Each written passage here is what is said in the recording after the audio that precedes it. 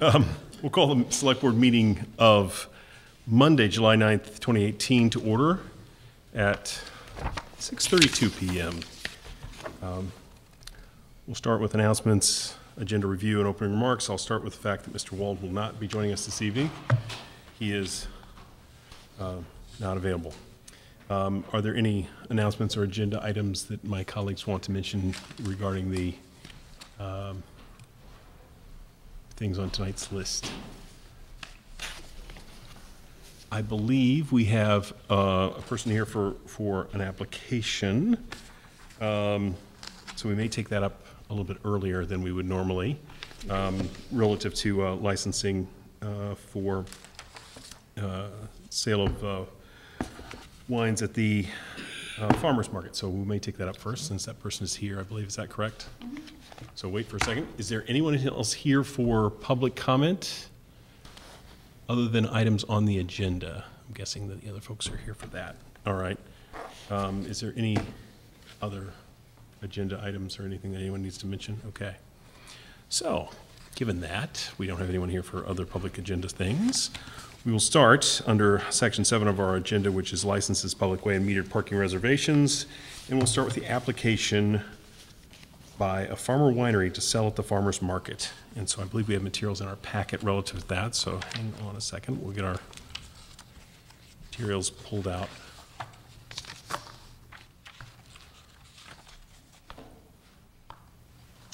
To the right place here.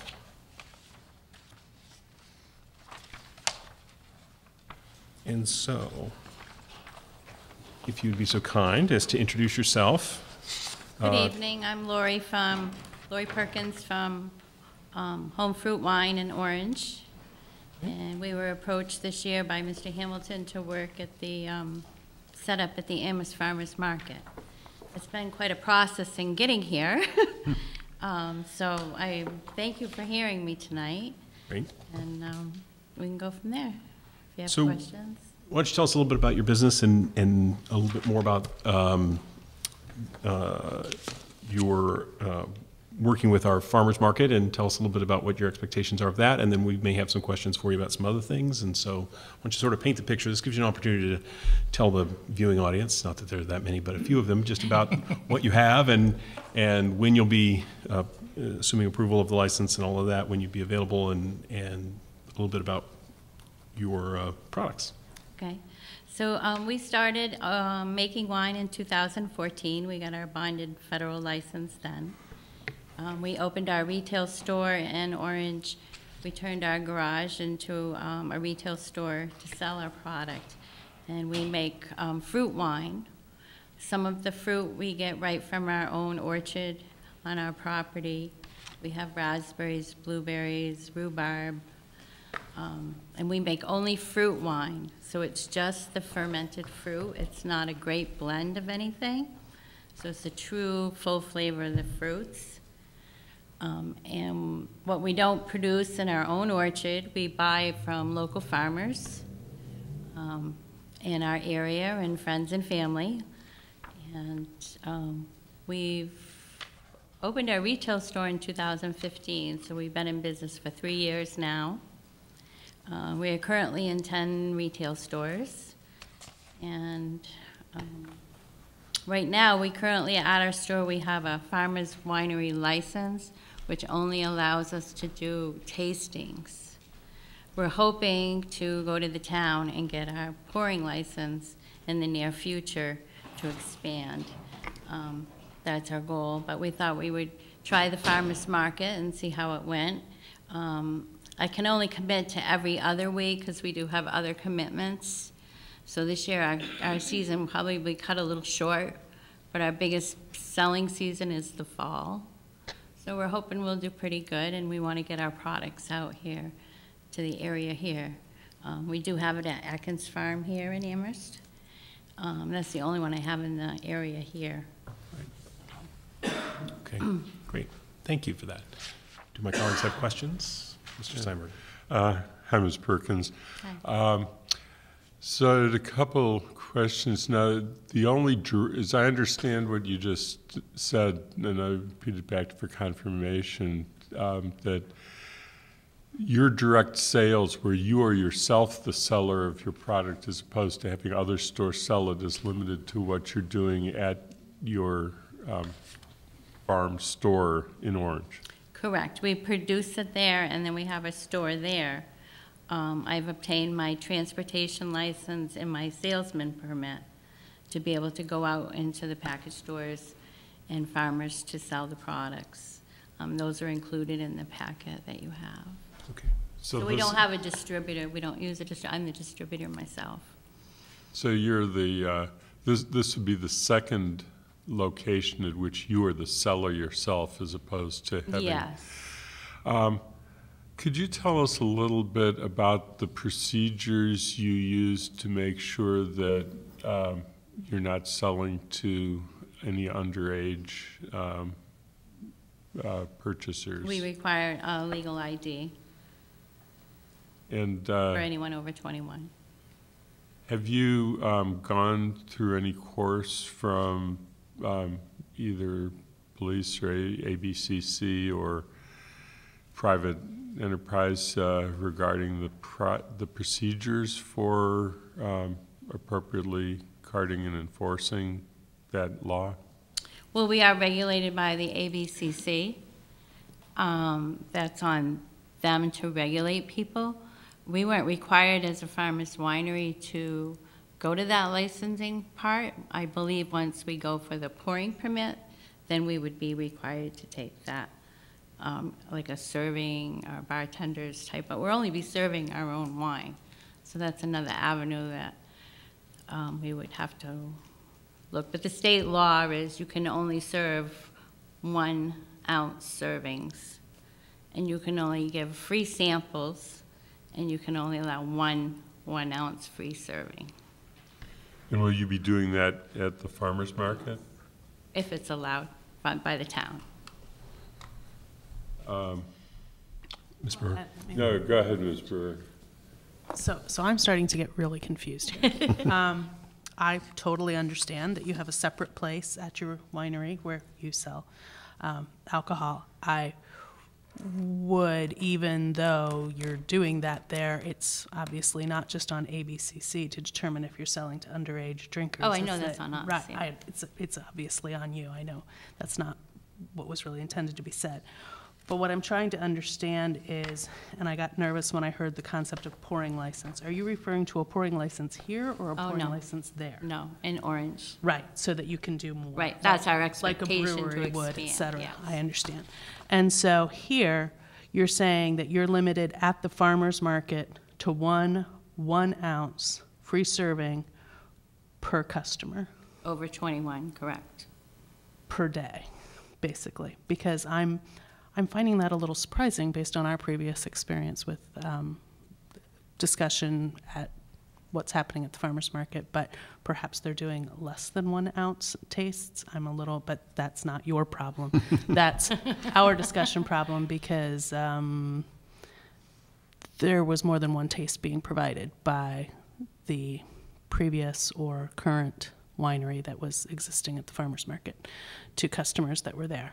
So if that is in fact the rule, that definitely makes it clearer that there wouldn't possibly be any over-serving if there's Well, only under, one, one under ounce this, serving. excuse per me, under this day. state law, you are allowed up to five separate one-ounce tastings, Mm-hmm. and you can charge for them. But when I looked into the laws of the farmer's market, they, it's, I interpret it as one one-ounce serving per customer.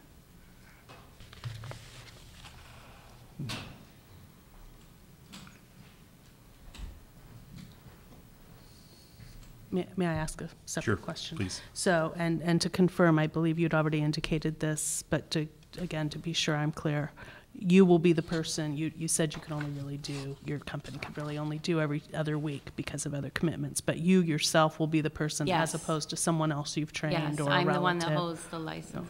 It'll, it will be you Yes. automatically. Okay, great, thank you. Other questions? Did you want to follow up with? I guess my only follow-up is just an observation, and I'll share it with you, but it's not going to necessarily affect my vote. um, uh, when we get to the motion being offered.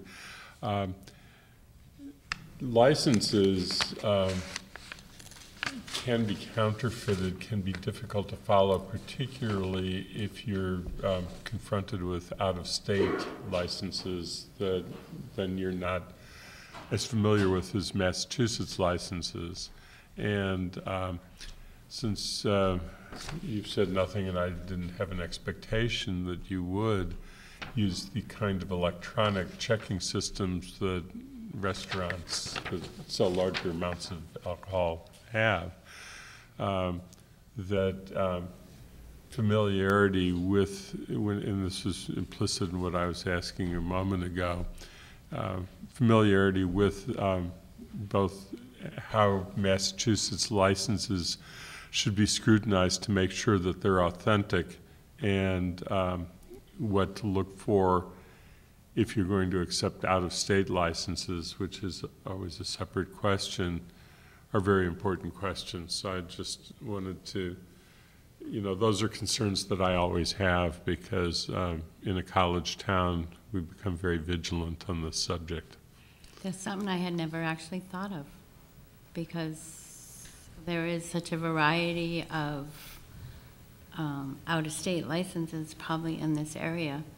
That is something I wasn't aware of. I am familiar with a lot of different states, because I actually work at Valley Medical Group here in Amherst, and we now have to ask people for their licenses, so I see a lot of different licenses.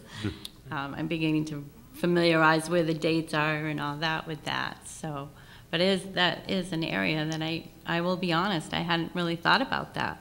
So I, I, I think I will be more aware of that and check into that, if there is rules to do that, or, um, if someone knows, please inform me. I don't know if there's anyone in the police department that uh, Ms. Perkins could uh, consult with, just so that she's more comfortable. Sure, we could connect someone with you from the, our police department. Okay, yeah, that would be They great. deal with that a lot, yeah. I have nothing further. Ms. Kruger? Um, I wanted to make the motion, and then I had a comment, so I I could do it after we have the motion. Um, I move to approve the application for a special farmer winery license for home fruit wine, Farmer Winery, to sell alcohol at the Amherst Farmers Market for the duration of the outdoor market, which would be um, these, uh, uh, from the present time to November 17th, 2018. Um,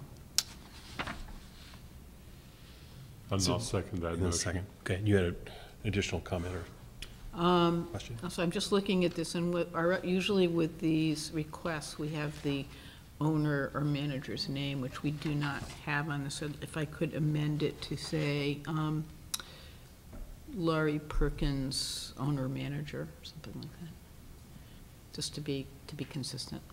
Um, I think it's signed that way. It, it's just my motion didn't have it, so just to be consistent with what we enter into the minutes for our motion. So my comment, oh, did I have a second? I- Yes. Okay. and I- and So my comment is just, um, I really appreciate that we're doing the same kind of due diligence we do for a new liquor license for a package store, asking similar questions, because I think that's only fair. But I would say, on balance, the risk of alcohol abuse from the one ounce serving per person for fruit wine at the farmer's market is probably in the very far side of the spectrum. So with that, I feel very confident that um, the risk factors are, are, are pretty negligible for, um, you know, I'm not saying it would never happen, but uh, some of the ID and age-appropriate um, things that we usually ask about, I, I think this is just a very low-risk category of wine distri, wine use. I would agree with that. I also think, though, that, that uh, if, if, we just want to make you aware of, of what environment you're entering into, because uh, as we found in other places, uh, if, if a more relaxed attitude is taken around IDs and that sort of thing, those of the younger variety tend to find those uh, Oh, yes. places and seek them out. So you, you, you might run into a, a circumstance you didn't intend to or, or anticipate. So we're just trying to make you aware as much as we want to be I appreciate that. diligent in our work. But um, is there further comment or suggestion? Yes, Ms. Brewer? Since there is in fact another winery that's currently set up to be at the farmer's market, one of the things I would like to just ask that somebody somehow, some part of the process, clarify is around the one ounce issue and around the charging issue, because I don't know that it would have made a difference, but I am saying that previously, when we, we've approved a couple of years in a row, the existing uh, Mount Warner vineyards there, and we worked under the assumption that they were going to be very small samples. I don't think we specified what size, but that they were going to be free samples, not, you know, selling a beverage of that size, which is really pouring um, at that point. So um, if Mr. Bockelman has more information on that, Yeah, I talked to the farmer's market manager on Saturday, and he said that those people retired, and that's why he was eager to have a new, new uh, winery come into the market. There, this will be the only winery in the market. So that answers one question in terms of consistency between the two of them. Um, competition has never been our concern, but uh, consistency is, is our concern. And so, therefore, I am I am questioning whether or not we would feel the same way about this if we were sell, if there was a sale of a sample, which is to me a different situation than a free sample.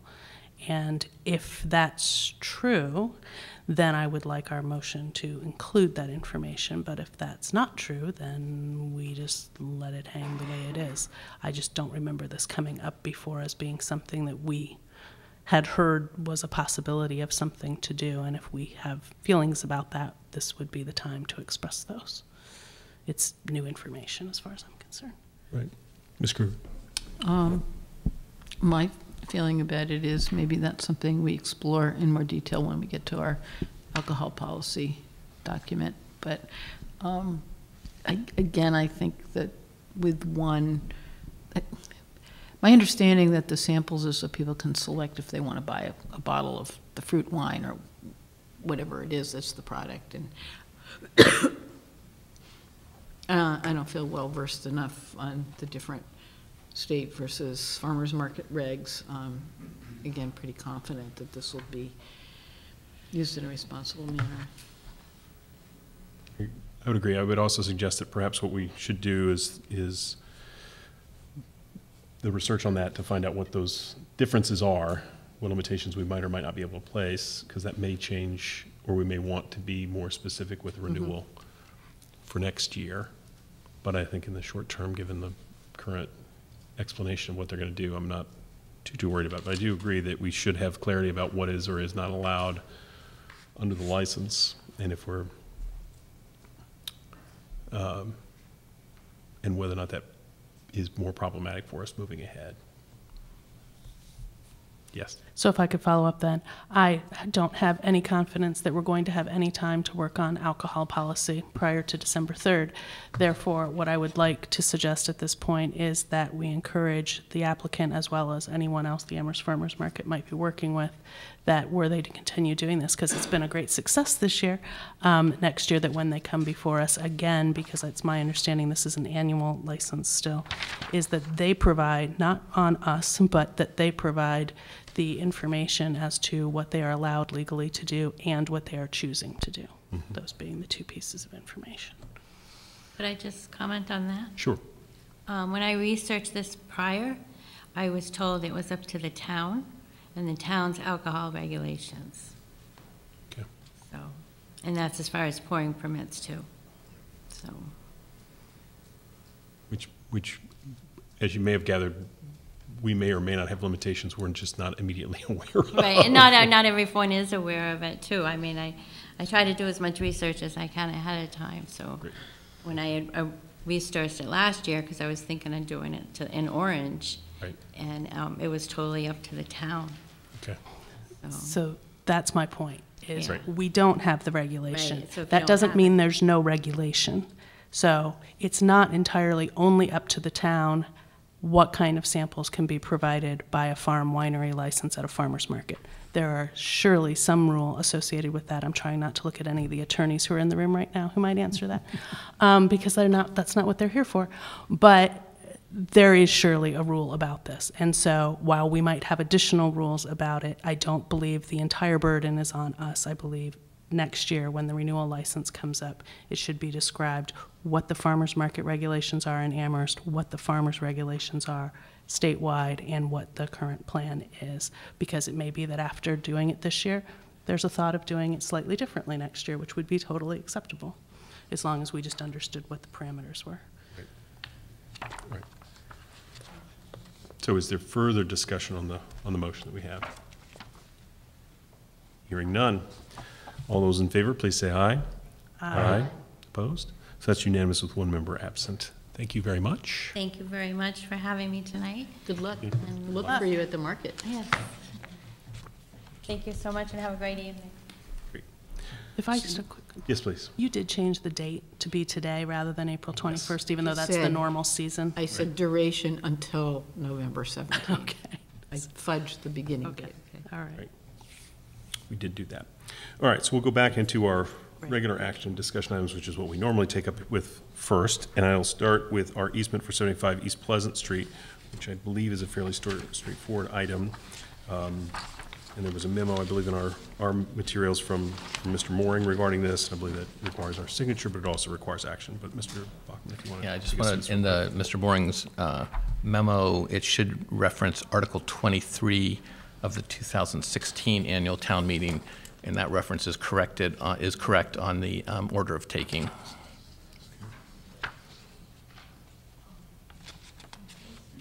Any questions relative to this? I don't, there's no cost to us, I believe.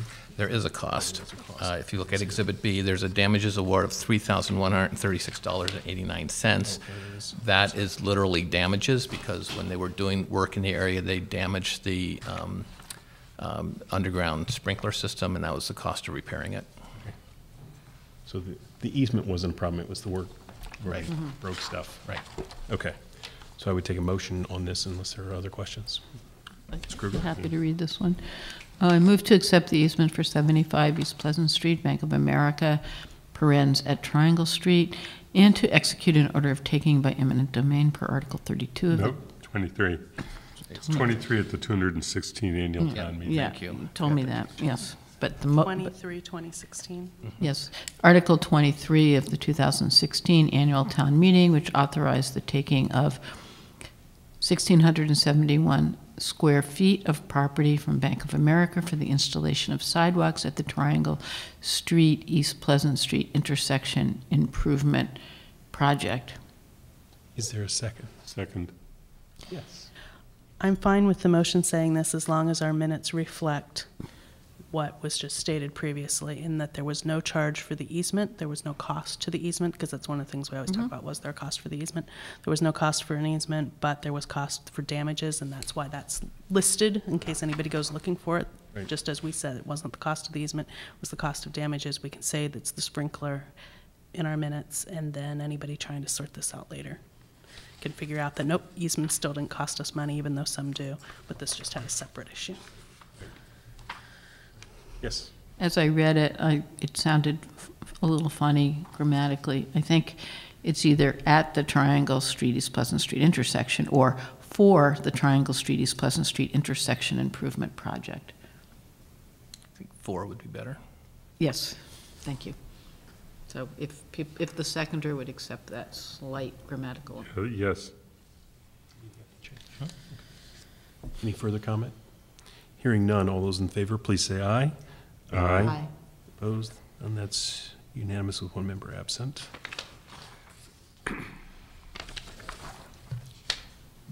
So next on our agenda, under marijuana update, although update may be not exactly the, all of what's there. Uh, The first order of business we have there is letter of support or non-opposition relative to the herbology uh, group. Um, And so we have a memo from Mr. Kravitz, I believe. And so, um, Mr. Kravitz first, or should we have him? I think there- we're going to talk First- initially about the letter of support or non-opposition, and then we're going to talk about the broader issue of Okay. local licensing. Okay. Yeah. Great. So good evening. So if you'll introduce yourselves a little bit for us, and, and I know we've kind of done this all before, but we'll play it again, as it were. Uh, But if you want to take us through uh, a little bit about your, your place and your um, request. And, but again, start with introductions of who each of you is, so that people at home know who, who's who and why they're here. And if you take us through that, that'd be great. Sure. Uh, Frank Perullo, representing Herbology Group. Jane Hammond, CEO of Herbology Group. Uh, And hi, I'm Phil Silverman. I'm a lawyer with Vicente Sederberg. We're a law firm, uh, national law firm specializing in cannabis that also represents Herbology Group. And if I may, just to start it off, I wanted to um, correct something that I had said previous time I was before this board uh, about the siting profile um, of Happy Valley. I had missed the name change to HVV and was unaware that they had uh, had a PCR and thought the siting profile, which expires in a year from being invited to siting. Um, so they do have a PCR. It is uh, current, um, but again, we do have a signed purchase and sale agreement on the property, and the special permit, I think, is the, the local barrier for entry for, for other applicants. So the fact that you have a letter out on the property is, I don't think, a problem. Um, but having said that, and I apologize for that, um, I wanted to turn it over to Jane Hammond, CEO of Herbology Group. Hello, thank you for having me this evening. I sent in a letter to you that had a revised floor plan. I'm going to read um, my letter, and we can review that next. My name is Jane Hammond. I am the CEO and president of Herbology Group, Inc. Herbology is a women-owned, minority-owned, and veteran-owned nonprofit corporation that seeks to provide compassionate, high-quality cannabis to patients and consumers in the wellness-inspired, in a wellness-inspired setting. Herbology has appreciated the opportunity to engage collaboratively with the town of Amherst throughout, uh, throughout our efforts to operate a medical marijuana treatment center and marijuana retail establishment at 422 Amity Street in Amherst. Since we have first, since we first secured our Amherst location in fall 2017, we have also moved forward quickly in Greenfield and Easthampton through the receipt of letters of non-opposition and, ex- and execution of host community agreements. Following our presentation before the board of April 9th, on April 9th, we have revised and refined our plan to incorporate the feedback offered by the board members. And the concerns were the revised floor plan. Um, Enclosed in the packet, you see a revised floor plan. It has been altered to enhance the flow of patients and customers throughout the dispensary to ensure that patients enrolled in the medical use of marijuana program have an expedited confidential experience and to um, address previous loading concerns. There is a confidential patient consult area, and the patients will receive secluded check-in and point-of-sale transactions evidenced in the floor plan. The next concern was our security. Above all else, Herbology prioritizes the enhancing the safety and security of its patients, customers, staff, neighbors, and surrounding community. Herbology's security measures will exceed the requirements set forth by the state. Herbology has retained FTG Securities, one of the Commonwealth's leading security consultants, to develop security policies, provide uh, engineering and logistics support, conduct, and conduct system testing. Herbology is willing to submit our security manual to the Am- Amherst Police Department for review and approval prior to the assurance of a special permit. And lastly, the medical, our medical product line. At the core of our values is the desire to help patients and customers that are suffering from chronic, often debilitating conditions through the use of quality cannabis products. We are committed to the pro- production of medically focused product lines that provide high cannabi- cannabinoid and low THC that then provide benefits to, of the plant without the associated euphoria. Um, These strains will be available in a variety of manners to ensure that patients are able to consume their medicine via a method that is most effective to their medical needs, such as balms, pills, um, salves, transdermal patches, oils, tinctures, and edible products. Sean Harrison of Herbology Cultivation Team has an extensive background in the development of um, non-euphoric medically focused products for the medical marijuana industry. Prior to moving to Massachusetts, Massachusetts uh, Sean has, was a director of operations at Evo Labs, a national leader that creates pharmaceutical-grade CO2 cannabis oil extracts. I myself also have uh, education in medical marijuana trade school in Michigan.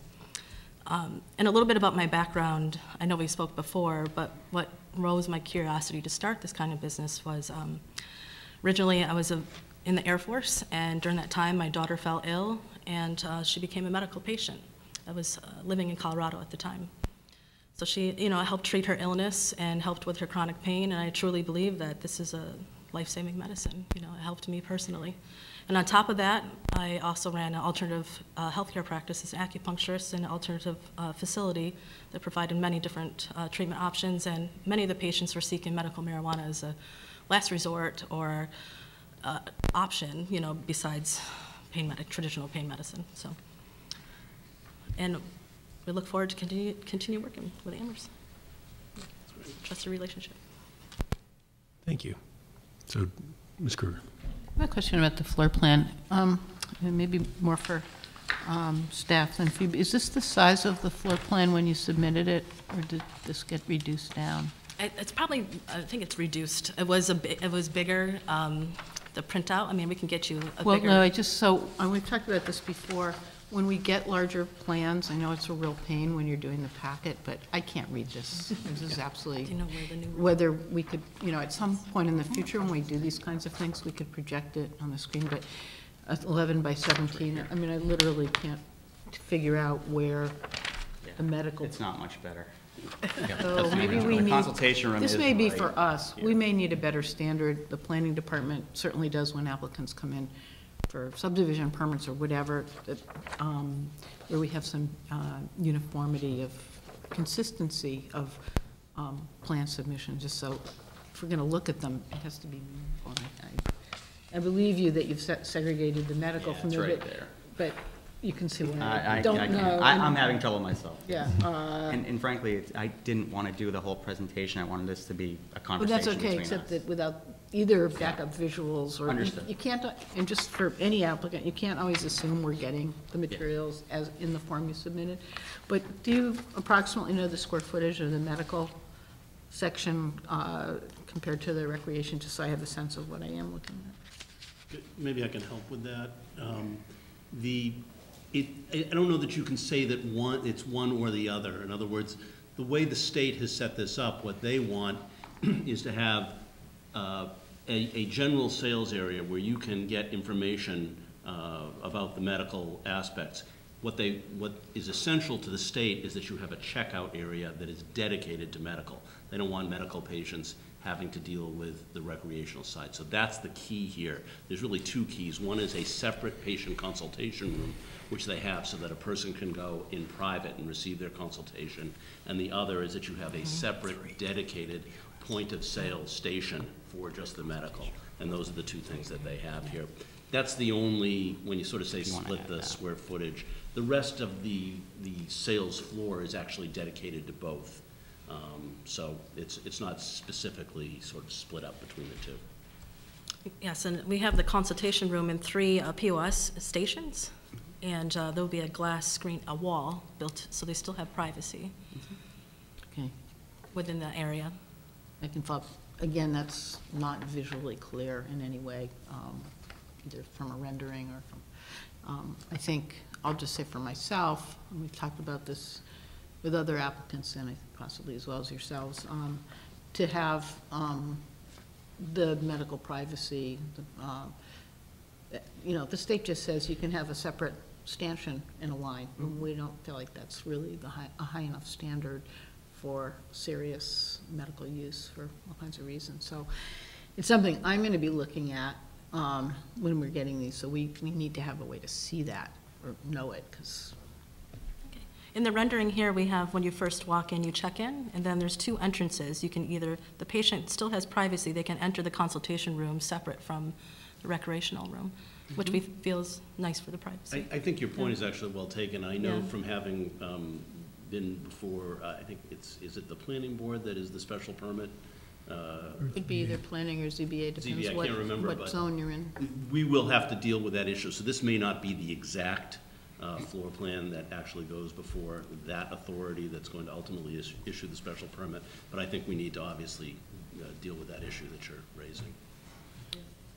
It just, please. from conversations I've had with, you know, friends, people, um, there's still some amount of, where this might be medically beneficial, there's a sense of embarrassment or shame for using this product because of the social stigma that we've carried as a society, so Um, You know, maybe in 10 years, it's not such an issue, as you go to CVS and you can get all kinds of things and you're standing in the same line with everyone else, so people hear what you're asking for.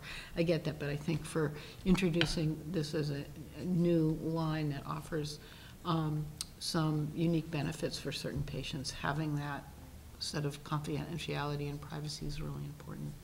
Yes. Thank you. And I, I'll explain, just, I know you can't see it, but uh, um, we have a consultation room, and you just said the same line. We have separate lines, one for medical and one for recreational. And then there's a wall that separates that from the recs side and the medical side. And then, so they still have their privacy all the way up until the exit. And we feel that, you know, we could, we at least trying to um, give these patients the privacy they need. So I'm going to ask a question, just speaking of the floor plan, and I'm starting to make out the extra small print. Um, But, but um, is this, is this the existing building that you're using is the, uh, because, uh, you know, HVV had suggested a whole different sort of, they were going to knock down the existing and move it and rebuild it and that sort of thing. But your plan is to, to utilize the existing structure and remodel it essentially to accommodate your, your business and set it up, is that correct? Yes. Other questions from my colleagues at this point? Yes, Ms. Brewer. So again, using my wonderful reading glasses, still not sorting out some of this print, um, is that I'm seeing, you come in the vestibule, you turn right, there's a consultation room, then there's a waiting area for medical and a waiting area for recreational, and there's nothing separating them except air. Um, Right above it says glass wall, and we'll just extend that out, so. Ah, the plan is to make that go further. It Yes. obviously can't go all the way, or you're not gonna be able to get into the recreational. Yes, oh, there, there will be another door, so we're just separating that because they're still using the same exit. They might see each other on the exit, so. And we also feel a lot of the people in adult use could possibly there for medical reasons as well.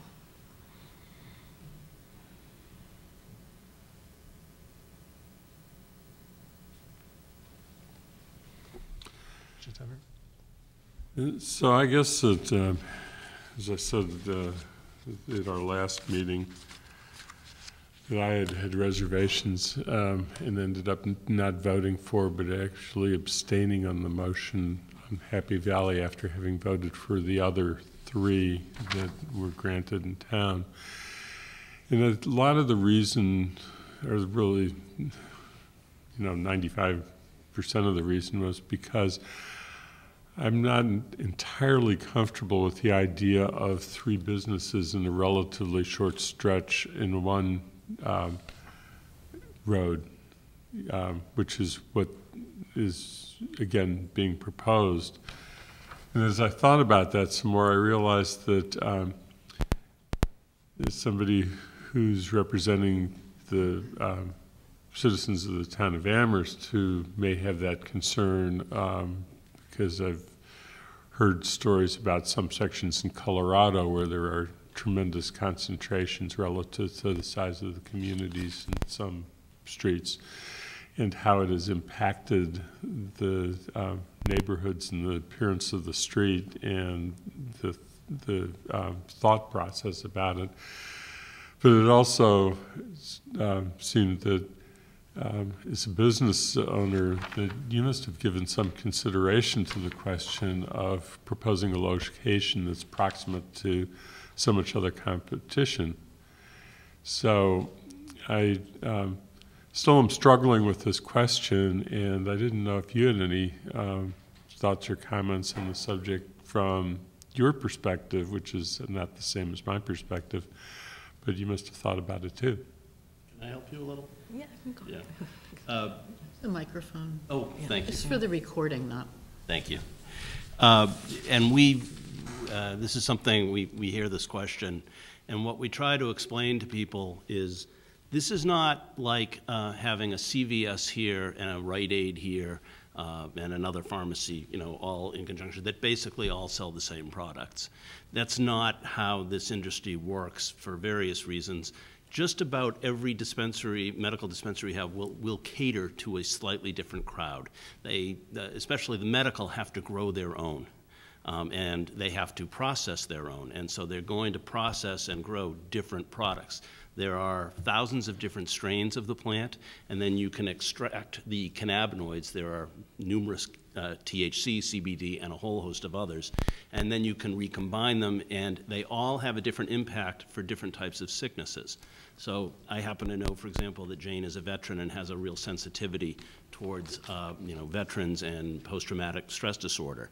Uh, what I can tell you is that, you know, there are certain strains that you would not want to have somebody suffering from that be the one that you sell to them. So I suspect that she's going to have a product line that uh, caters to these particular patients. And they will, there will be competition, but it's not everybody selling the exact same things. They will find different markets for the various patients in the community. Um, and that's why uh, you, in the medical, before, Colorado's a little difficult to, to sort of study now because recreational has come in, but before that, you could see different dispensaries in the same area, but they actually all did just fine because they each carried products that were catering towards different people, uh, different types of patients suffering from different ailments. Yeah, to, to extend what you just said, and I appreciate um, your um, what you've commented on about uh, medical marijuana and the different um, strains and uh, different purposes. And of course, I understand that that's part of what the role of a good medical marijuana establishment is, is to make sure that they're advising the patient to get to the right product and assisting the patient in that regard, which is what the counseling is all about.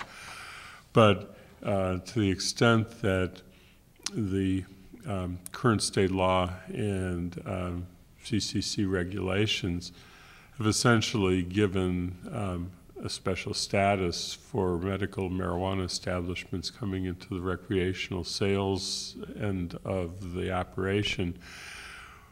It has the effect potentially of um, creating a concentration of recreational sales points um, all proximate to each other too, which um, also creates a um, appearance question because it's actually on a major gateway to the University of Massachusetts flagship campus also. And um, so there's a little bit of both that is in, in my concern. Sure. Uh, I assume that's something that's going to sort of be fleshed out at the special permit stage when you get to the recreational side. There may, I think theoretically, be somebody that gets a medical license but is not allowed to necessarily uh, sell recreationally. That's one possibility. I, I don't know how it'll play out, but I assume that's, that would be part of that process. My other question is entirely different. I just was trying, um, I'm very conscious of the fact that what exists in that property right now um, is um, a longstanding restaurant that um, has been uh, by somebody who's been in, owned by somebody who's been in business for a very long time. And, uh, you know, they employ a lot of people um, and they have a good following. And I um, recognize that um, if all falls into place as you wish, at some point in time, um, that uh, is the owner of the property, that you would have an arrangement to uh, terminate their lease and essentially end that business. And I was um, just uh, curious as to how that's being approached and whether efforts will be made to allow them to stay in business and what they are as long as possible, um, convenient to your own needs if you, they proceed as you wish. Um, so, yeah, absolutely. And we actually already made uh, some arrangement. Their lease is either up or, again, not holding the lease. Uh, Happy Valley holds the lease. They were supposed to be out in May or June. We told them that as long as we are permitting and as long as we are uh, through this process, we would allow them to stay. So we extended their lease with, or we asked Happy Valley to extend their lease until November, which is when we would foreseeably be through any permitting process as we go through it. Having said that, we've been doing this for quite a while. It could be even longer. Uh, but, but having said that, we, we asked Happy Valley to do that. They asked for our permission. We said, sure, of course. So That is something we've done. And Okay. um, we're happy to, uh, we'll be holding a job fair. If we proceed, we would be holding a job fair on the site um, and, and hoping that we would actually receive some of the, um, the employees to, to stay with us, if they so wished. Um, At our last, I think it was our last meeting, and I think you were present, we talked about some of the qualitative aspects that we would be looking for um, before we signed host agreements, which is another sort of gatekeeping function. Um, And some of the ideas, and some of them are in the memo, have to do with prioritizing local uh, employment hires, um, the quality of the building design, um, other uh, commitments to uh, contribute to the community, and um, as we go forward, um, I don't think we really have that set up for the issuance of, of the letters of non-support, uh, of support or non-opposition, but we're looking forward ahead to um, how we might use those kind of qualitative criteria, and I know you're, you listened to that conversation, so I'm wondering if you could share some of your thinking about that, and before that, um, Mr. Steinberg brought up the issue of concentration, which is different than my concern, because I'd rather have, there's only so many places because of our own zoning, so um, that happens to be one of the places where it is allowed, so we created the conditions for concentration in some sense. Um, I'm more concerned about how it looks in the design, because I think the Green Mile idea from Colorado is, a- it's sort of the sleazy kind of um, place, and I, if there's real quality um, design and uh, uh, high-end, you know, sort of business practices, I don't think we're going to have, I doubt if we're going to have much more concentration, and I think it's as much what it looks like and how it presents coming into that gateway. So um, for me, that's an issue rather than just the fact of three on University Drive. Um, But maybe you could speak to both of those things. Well, our facility will definitely have uh, high-end aesthetics. It will not look like a shop out of Colorado with green lights and uh, gr- painted green, anything like that. Uh, We want to fit into the local area and be known to be a quality, quality shop, quality products, quality services. And we have a rendering here of what the outside will look like. You could pass it, we'll- Sure, of we'll pass it around if you have something I to have show plenty. us.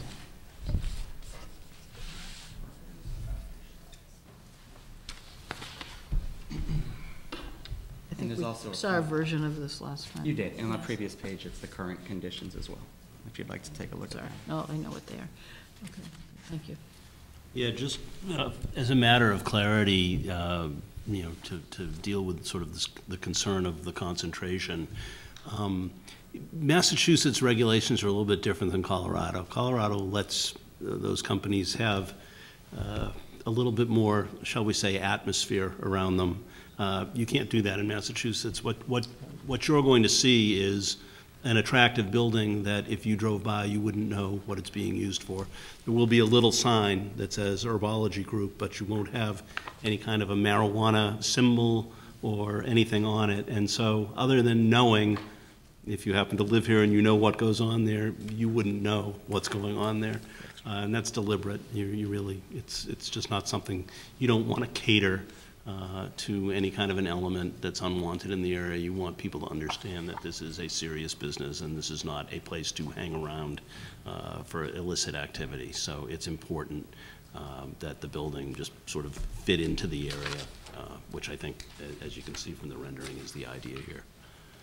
And of course, I should mention, um, having uh, done a lot of host agreements with towns, there will be uh, local hiring preferences, preferences for local vendors, um, so that, you know, this really does become an active part of the community. I know, um, you know, there would be the, the standard sort of community host fees um, that, that would be applicable. And I think also, you know, for Jane, you- she's interested in becoming a viable member of the community, so I think there'll be other charitable giving and, and uh, things of that nature. But, you know, you'll, as I said, the, the host agreement will lay out a lot of these issues very clearly to, to show all of the benefits.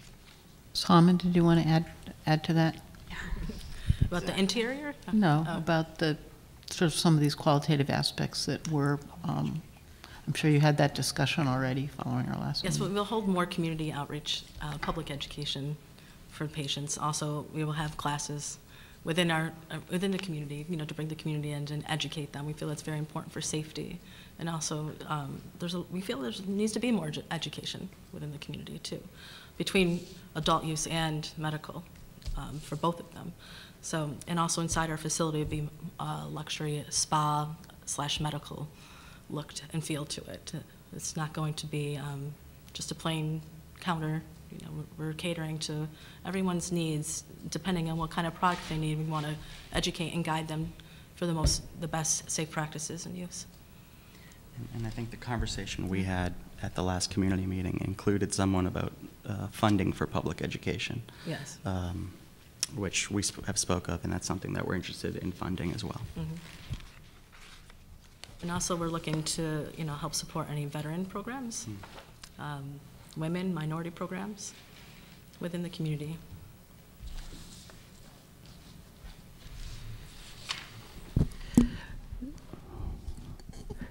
I missed your April 9th presentation here because I was ill with the flu, but I showed up with a mask at your uh, April 11th community outreach meeting just so I could contaminate even more the public. Um, because I that was basically our first community outreach meeting in Amherst. And so the community outreach meeting, of course, has nothing to do with what we're talking about tonight, except that it does because everything's connected.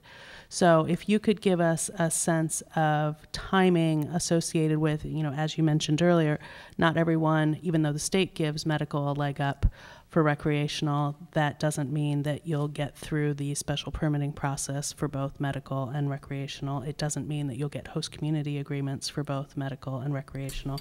It just puts you to the head of the line in terms of the CCC's process. Um, at this point, I think we made it clear at our last select board meeting that it's not something we're considering an automatic leg up here in Amherst.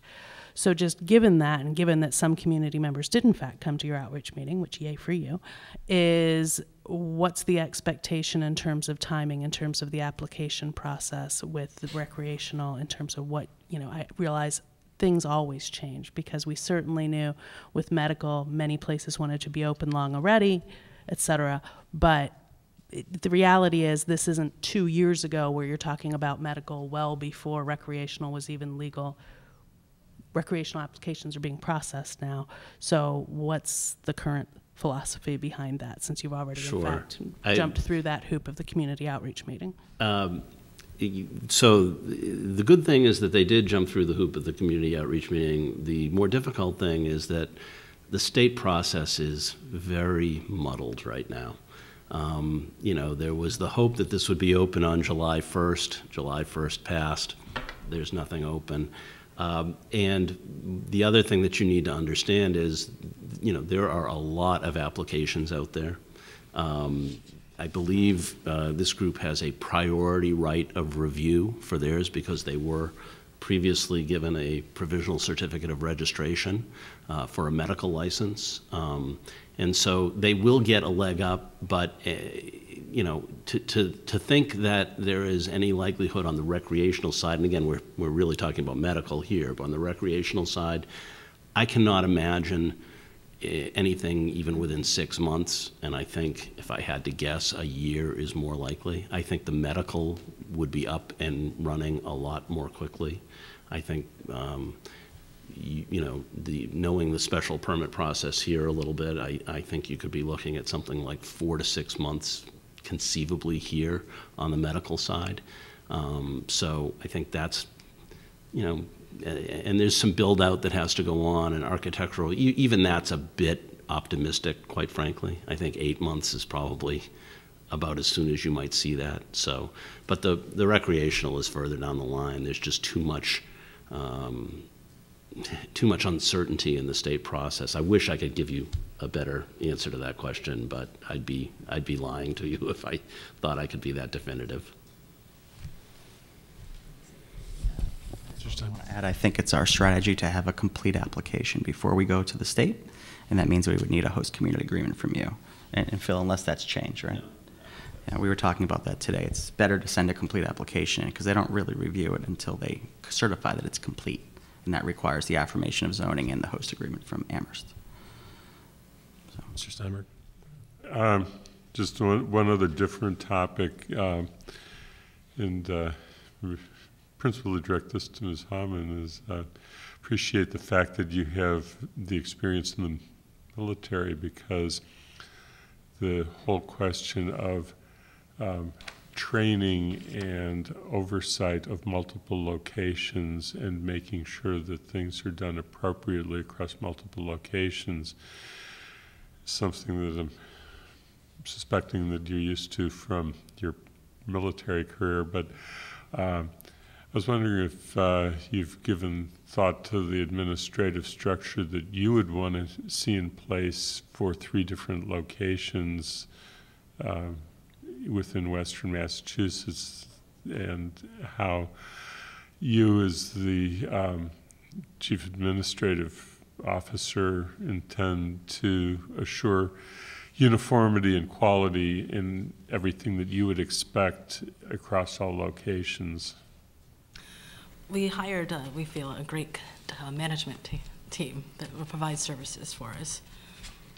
Um, We feel that they have the best experience. They've hired some of the top leading, uh, they brought together this team from leading companies that were already uh, in Colorado and brought them here to Massachusetts. We feel that they, you know, very educated and, and uh, can put the right team in place to help manage all three locations. And also, I will be here myself in Massachusetts, um, probably, hopefully, Amherst, looking for a place. So to help oversee that and make sure everything's smoothly and uh, that our management team is, you know, holding the standards that we expect. Thank you. Follow up there? No? Ms. Brewer? Any other questions?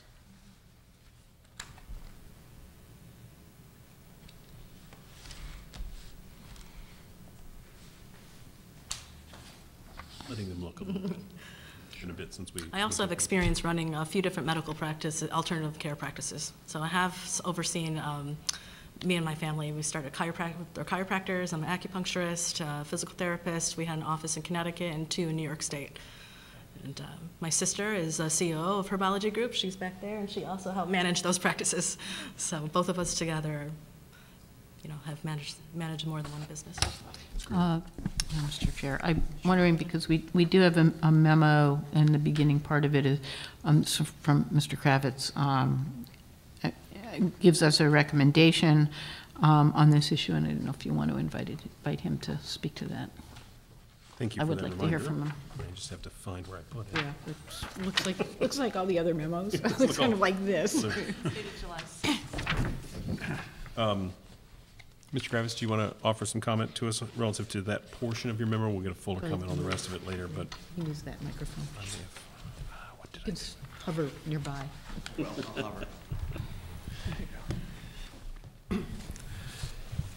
So, um, the recommendation was, was to issue a letter of support or non-opposition, um, conditional on Happy Valley withdrawing its application.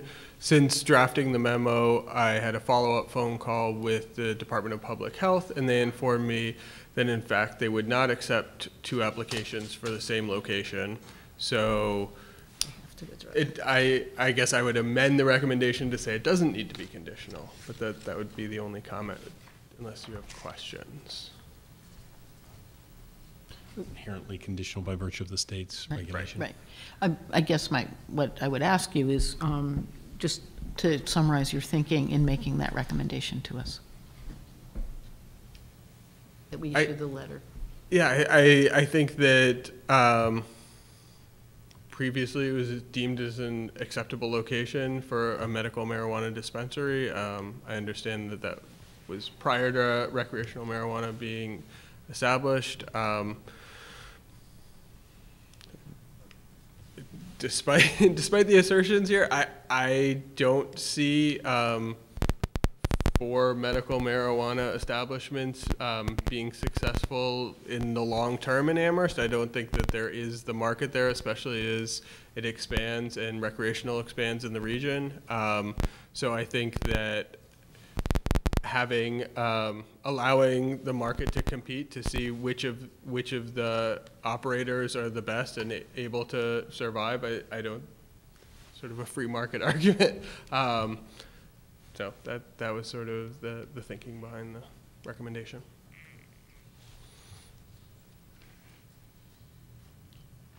If there aren't other questions, we could take a motion too, We don't but go have ahead. So I It's have, it's on the amended sheet. Oh, the I have more uh, comments for discussion amongst ourselves That's fine. rather than questions for any of the lovely people who have come and spoken to That's us. fine. So, it's on You can still hang out because it may involve you still. I But go that. ahead, please. so. Well, I lost that.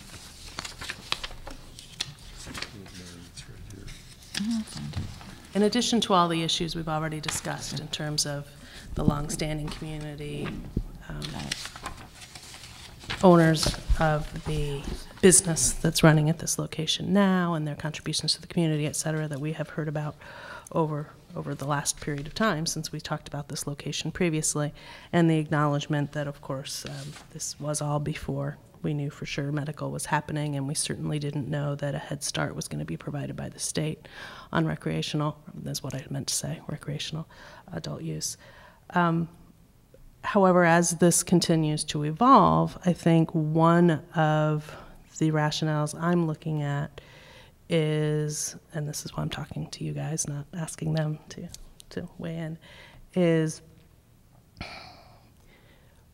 a reason to not issue a letter of support slash non-opposition would be because we absolutely for certain don't want another medical facility. And i don't think although we've, we've had some comments about why we're concerned about numbers um, i don't think that's true i don't think that we would that we want to say we absolutely don't want to have a fourth because we don't really know that all four are going to work out even though others have gotten somewhat through the permitting process um, for medical Another reason to say no to a letter of support or non-opposition would be to prevent the town manager from highlight, from signing another host community agreement. And that to me has some validity as a concern because host community agreements were signed with all the other medicals without substantial discussion by the select board on what might be included in those host community agreements. However, it is also true that there's a separate special permit for recreational. There's a separate host community agreement for recreational slash adult use. So I'm feeling less concerned about using blunt tools to do things that we can do with finer grain tools um, later on in the process. It's clear that the town manager has come to us and said he wants to talk to us about host community agreements associated with recreational slash adult use. Um, he's also asking for insight associated with this one um, because we're at this weird cusp of timing. And so, given that, I'm was hesitant months ago um, for a variety of reasons, including those I just stated.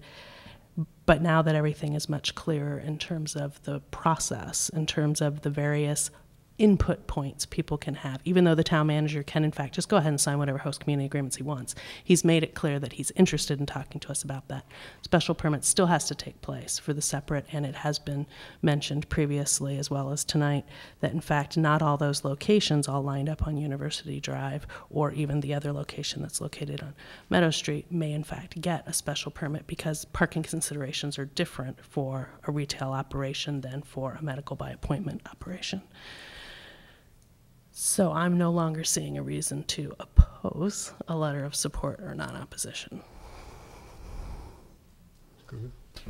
Um, I, I am in agreement, and I'm wondering uh, if you had an inclination towards support or non-opposition, because I'm, I'm thinking of making a motion, and I, um, since it's at least six months from, since we did one of these, I'm older, so I'm more conservative. I was thinking of maybe going for non-opposition this time instead of support, but um, it would be maybe inconsistent with our previous position, but I was going to make a motion, and we could talk about this more after the motion was made, but I was wondering if you had a preference, if any of the members here had a preference before I put it on the table. I do not yet have a preference and would be interested in people's rationale for So- so the the thing- difference between the two. The thing that we grappled with relative to that issue in the past was what distinction does it make relative to the state? And we have And yet that is to the understand how the state sees them, which it doesn't really. I Doesn't. I think it may be a bit of a political out for select boards across the Commonwealth to say, oh, it's a non-opposition, which is softer than a support. That's very correct. But as far as effective, you know, Not- Not a scintilla of difference that I Right. can tell. so I don't know that it has a lot of meaning for me either, in, as far as the difference between those two. But um, I will say, just, just to piggyback on what Ms. Brewer said, I'm, I'm thinking about this, eh, you know, granted, the circumstances we're operating in with uh, adult use being more clearly painted out, I think that the, there are a number of, of um, rather significant hurdles, both state and local, relative to adult use, and for that matter, relative to, to medical use, that, that give us some assurance that there's some uh, additional, you know, uh, public input opportunities and, and, and uh, feedback opportunities for folks to, to give you relative to that. So that gives me a certain level of comfort relative to supporting a, a, a letter of support and non-opposition. But, um, and I, and I don't see, again, I don't see a, a, a real strong reason to not allow it. Um, I think the one particular reason was that, um, you know, it is displacing a business that's currently active, viable, and functioning within our town. The other locations didn't have that, but that's a pretty subtle, you know, sort of thing. I'm uh, sensitive to that, and so, you know, it's difficult, but I don't know, again, that that's a sufficient reason to not offer the letter of, uh, from the, from the select board.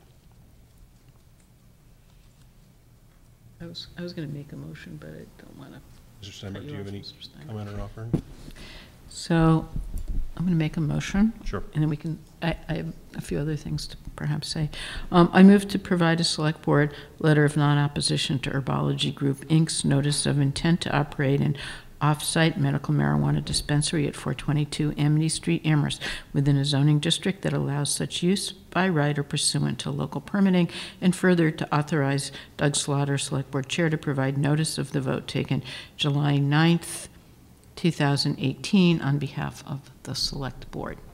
Is there a second?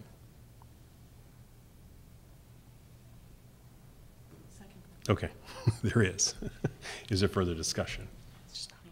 Well, just two things. One, um, I, I know in the sort of um, points we talked about for, for kind of extra qualitative points, um, using an, you know, a vacant or abandoned property, this would not be. And I, as much as I would like that uh, existing restaurant business to stay in town and do well, um, that property's in play right now. So we can't, because they're not the owner, we, we really can't guarantee their longevity in that site. Right. Regardless, so. Right.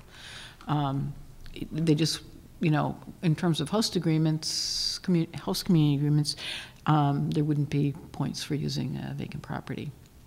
Um, Also, I'm thinking with special permits, we've done this for other um, issues, including uh, affordable housing. We've forwarded our concerns um, as recommendations to the Zoning Board of Appeals. And where this is a pretty new kind of thing, if we had concerns about appearance or uh, conditions around offering things in addition to the money, um, I think we have an opportunity to voice that in a, you know, it's their jurisdiction, but it's not um, unprecedented for us to send our concerns along to the Zoning Board of Appeals. And I think um, we didn't do that with the special permits already issued, but now we've plunged de- more deeply into this issue. I think it would be appropriate to think about doing that. Is there further discussion? It's the only thing that, uh, as I disclosed earlier, and as everybody knows, I abstained uh, when a similar vote took place for Happy Valley. Um, And it was not a comment on their business, and it was certainly not a comment either on um, the need for medical marijuana or the desire for recreational marijuana um, to be available in our community, but had to do with um, the concentration of uh, businesses in one spot, as I said, um, in the major gateway into the university. Um, So I will be inclined to abstain again. Any further discussion? Hearing none. All those in favor, please say aye. Aye. One person absent? Any abstention? One abstention. So we have one abstention, one absent, and three in favor. So thank you all very much. We Thank appreciate you. your patience with us. Thank you. So next on our agenda, um, yes, we can. Why don't we take a, a short Yes. recess for about five minutes or so, and then we'll come back and, and take up our second half of this topic for tonight. So we're all back. So let's, uh, we'll re, uh, restart our meeting, and we're going to continue with the topic of, of um, marijuana, and particularly talk about some of the other tools we have at our disposal, and Mr. Kravitz has written us a memo, and so if you'd like to take us through a little bit of that, um, that would be helpful. Thank you. Jeff Kravitz, Economic Development Director. Um, two weeks ago, we had some discussion of potential options um, regarding host community agreements and um, local licensing for recreational marijuana establishments. And so last week, um, I put together the memo dated July 6th. Um, and essentially, it lays out what I would describe in general as sort of a holistic approach. Um, I know points were mentioned earlier. I don't necessarily see assigning points to any of these, but some of the things that uh, the town manager in consultation with appropriate staff would consider um, in order to evaluate whether or not to sign a host community agreement. Um, things that would include what what's in the host community agreement, um, the percentage uh, for impact community impacts. Uh, we, as I mentioned at the last meeting, um, other communities have signed things, including community benefits that are different, um, as well as uh, charitable contributions. And then some of the other things, uh, the economic benefit of the town regarding jobs, tax revenue, um, the use of vacant or underutilized properties, the appropriateness of the location, um, the quality and distribution of educational material to patients and um, recreational users, the experience of the operators in Massachusetts um, or elsewhere doing marijuana establishments or other similar type establishments, um, the commitment to sustainability, um, which would probably be more for cultivation organizations, but um, power usage, uh, electricity usage, water, sewer, those types of things. Um, and then of I added a catch-all if, if anybody wanted to try to blow us away with um, something unique and we hadn't seen before that seemed like a really good idea. Figured that was um, worth including as well. Um, and then it sort of goes through some of the material, the host community agreement, um, the location of the business, blueprints, um, and tried to strike a balance, understanding that this is the very initial step that most of these businesses would be going through, and to require, you know, full engineering reports and site plans when they don't even know whether or not they're going to be able to move forward in the process seemed onerous, but having something to base it on um, would would help that uh, decision-making process. Um, and then sort of a, a summary of um, who might help advise the town manager on various aspects of uh, an application. So one question I want to start with, take the chair's prerogative to answer, ask the first question. Oh, did you have something else you wanted to offer? Just one, one a brief comment. Uh, So the host, community, this is a policy discussion that started last, at your last meeting, and this is a more developed, and I appreciate uh, the Economic Development Director's memo, which really, I think comprehensively lays out uh, three, three different things, the medical marijuana, the host community agreement, and then the licensing things. Those are the three things that we're talking about. The host community agreement under re- uh, recreational marijuana is a really important document now because it's the latchkey that allows the applicant to go to the state. It's a major public policy discussion to be had, and that's why I think it's really valuable to have it in this format uh, because it is the one piece that they really need beyond all the site um, plan reviews and things like that.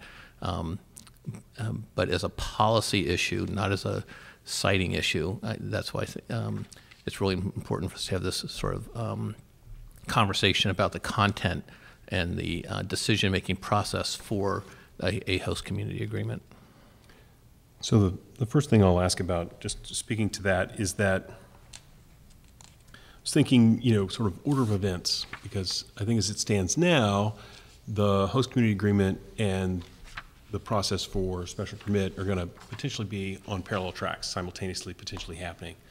Um, And, and this is sort of an open question, and I'm not saying I have an answer or preference one way or the other, but it could, could it be, or is there uh, anything that prevents setting a particular order? Do we want to set a host community agreement first, then have them go through special permit process, have them do a special permit process, then do host community agreement? They're going to need both of those to go to the state, I presume.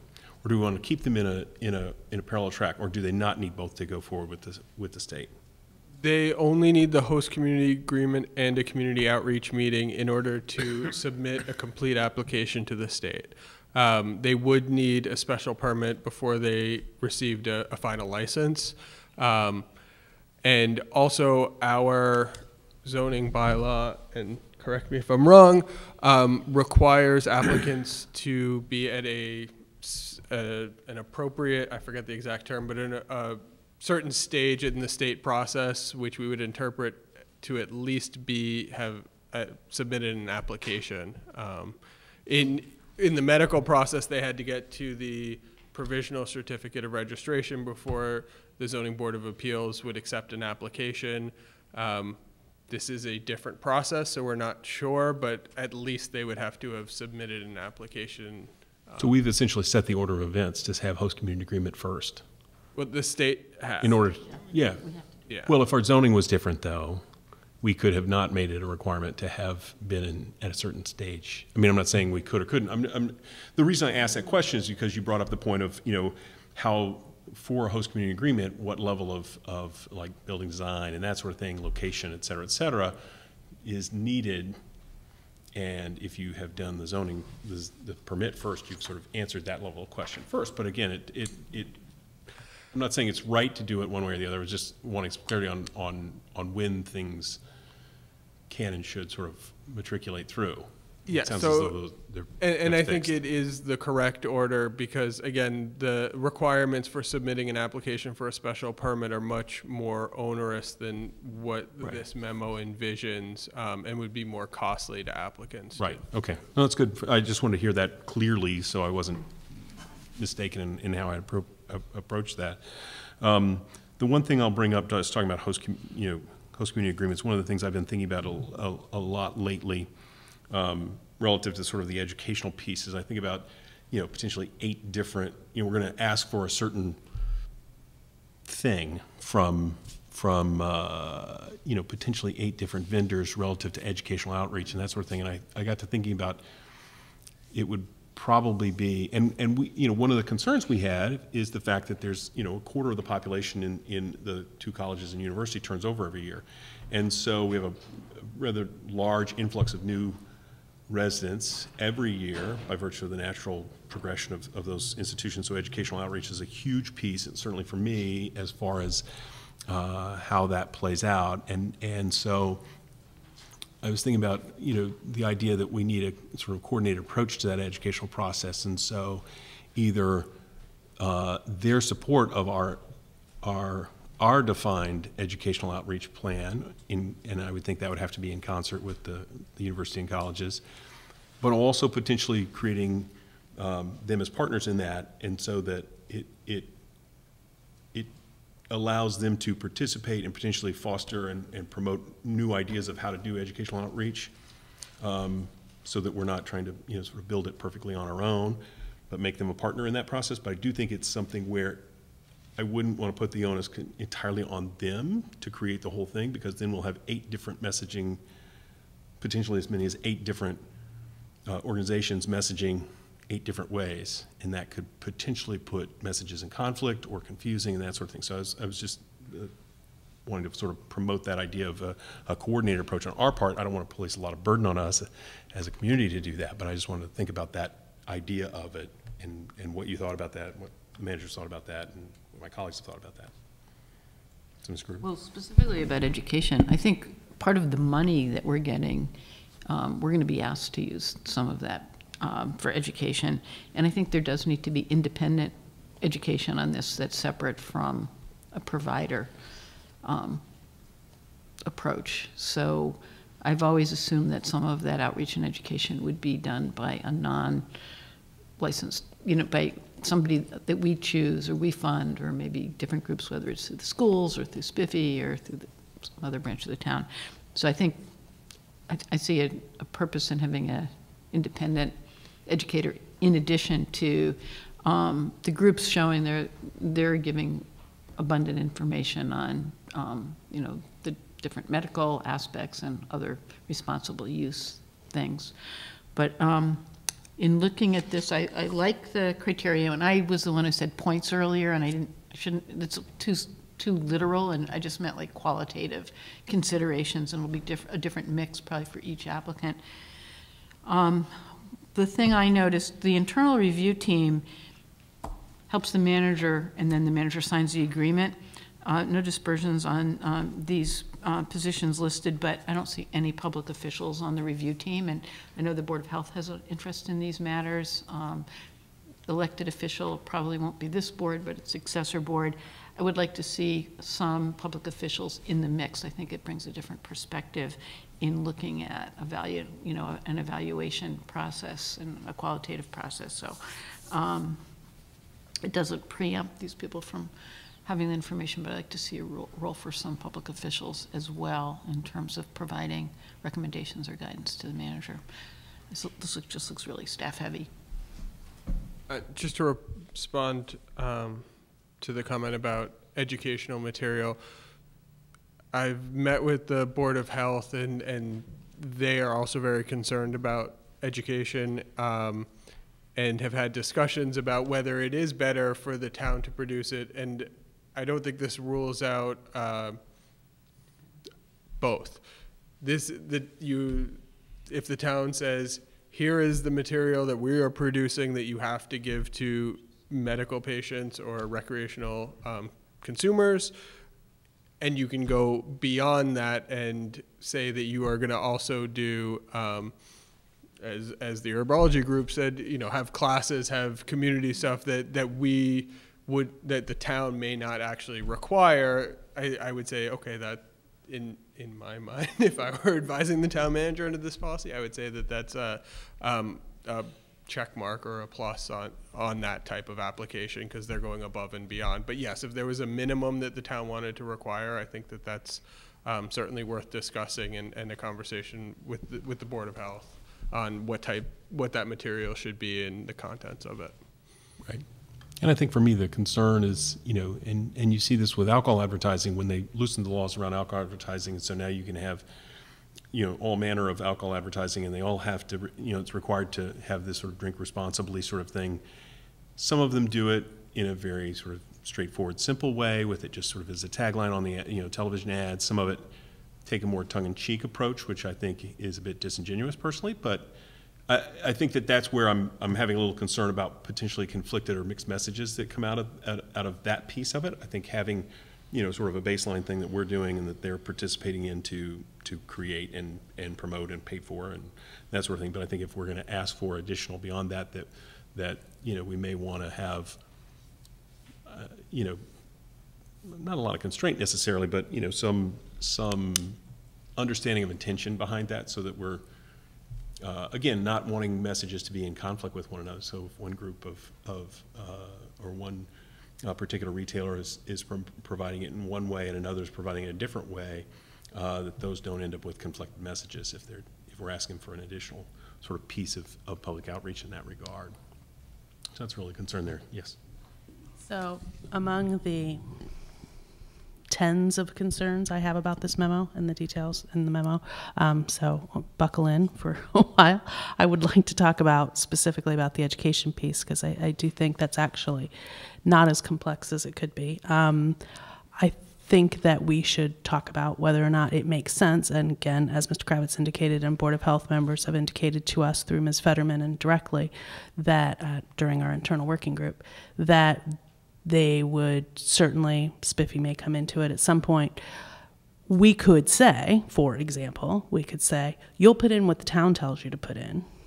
And we'd love to see what else you think is important to put in because then they could be part of informing a better town document moving forward. And they could even work with the people who are working on that town document. And while I realize we don't have suddenly excess capacity amongst staff to do things like this, we don't we never had excess capacity to do any of this marijuana work, despite hiring an economic development director who was not told this was going to be his job when we hired him.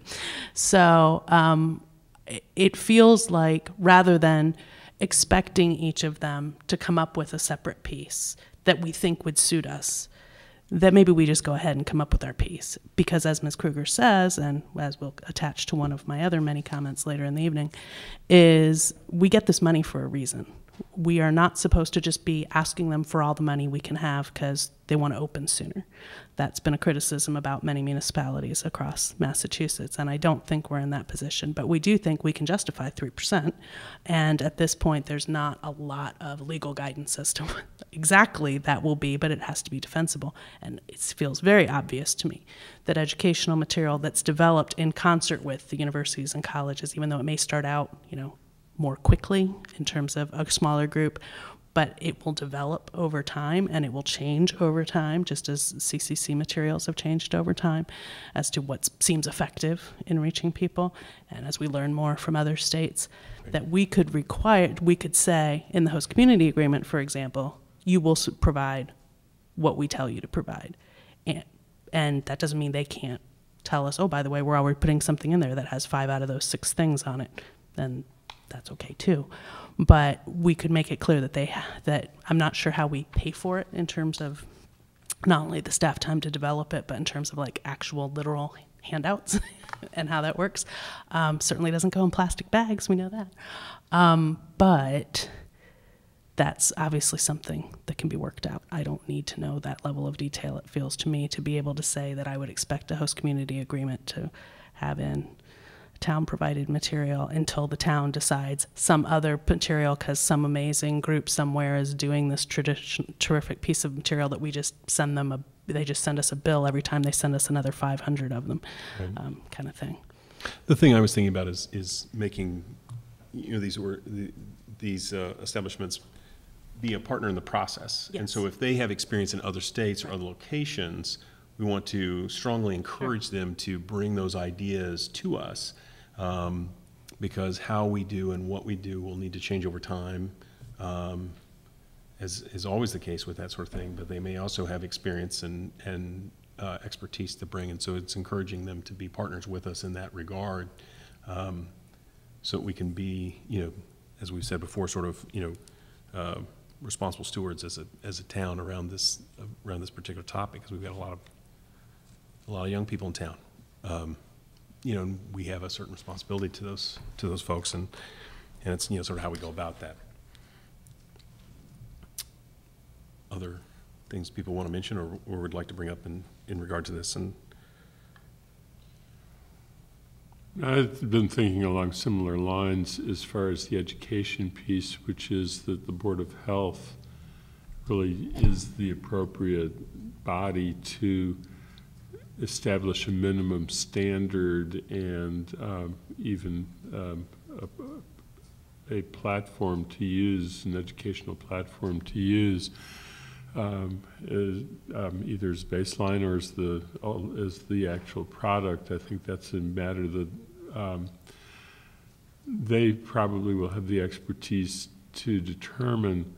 Um, one of the things that, ties back to then is the host community agreement is to make sure that the host community agreement can and does um, include a provision that um, requires um, is uh, the, that the uh, provider, the vendor, is going to comply with all present and future regulations of the Board of Health regarding um, the um, operation and including education in the um, sale of marijuana, recreational marijuana.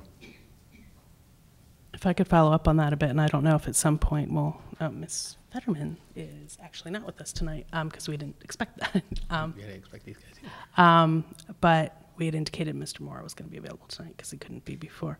But in terms of, I do, I do just want to caution us that I want to make sure that even if the Board of Health doesn't have a quorum and can't meet to set their regulations, which you know better than the rest of us, but we all know can don't have to go through town meeting or anything. They just, but there's still a process for regulations that is different, a little different and more formal than what we do here when we establish a policy or even a local licensing process.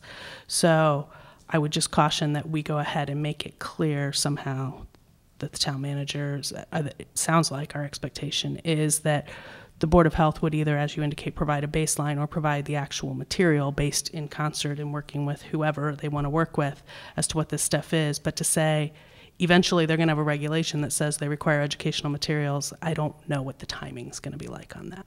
And so just to avoid any snafus where somebody's caught up in, well, they don't have to do anything because there isn't a regulation yet. I actually want it to be in there, but it could well be that eventually it becomes whatever the regulation says. Not only, and then there are other things they're concerned about operationally associated with sanitation and that sort of thing that I know they're going to be working on at some point, but that is separate than this. So on the educational piece, my intention would be to seek funds from the operators uh, to create um, the ability for us to offer the educational programs that we need. These programs would be based out of the Board of Health and out of the school, um, school department because they have interest in educating students of their um, of the school district as well, and they've already expressed that interest.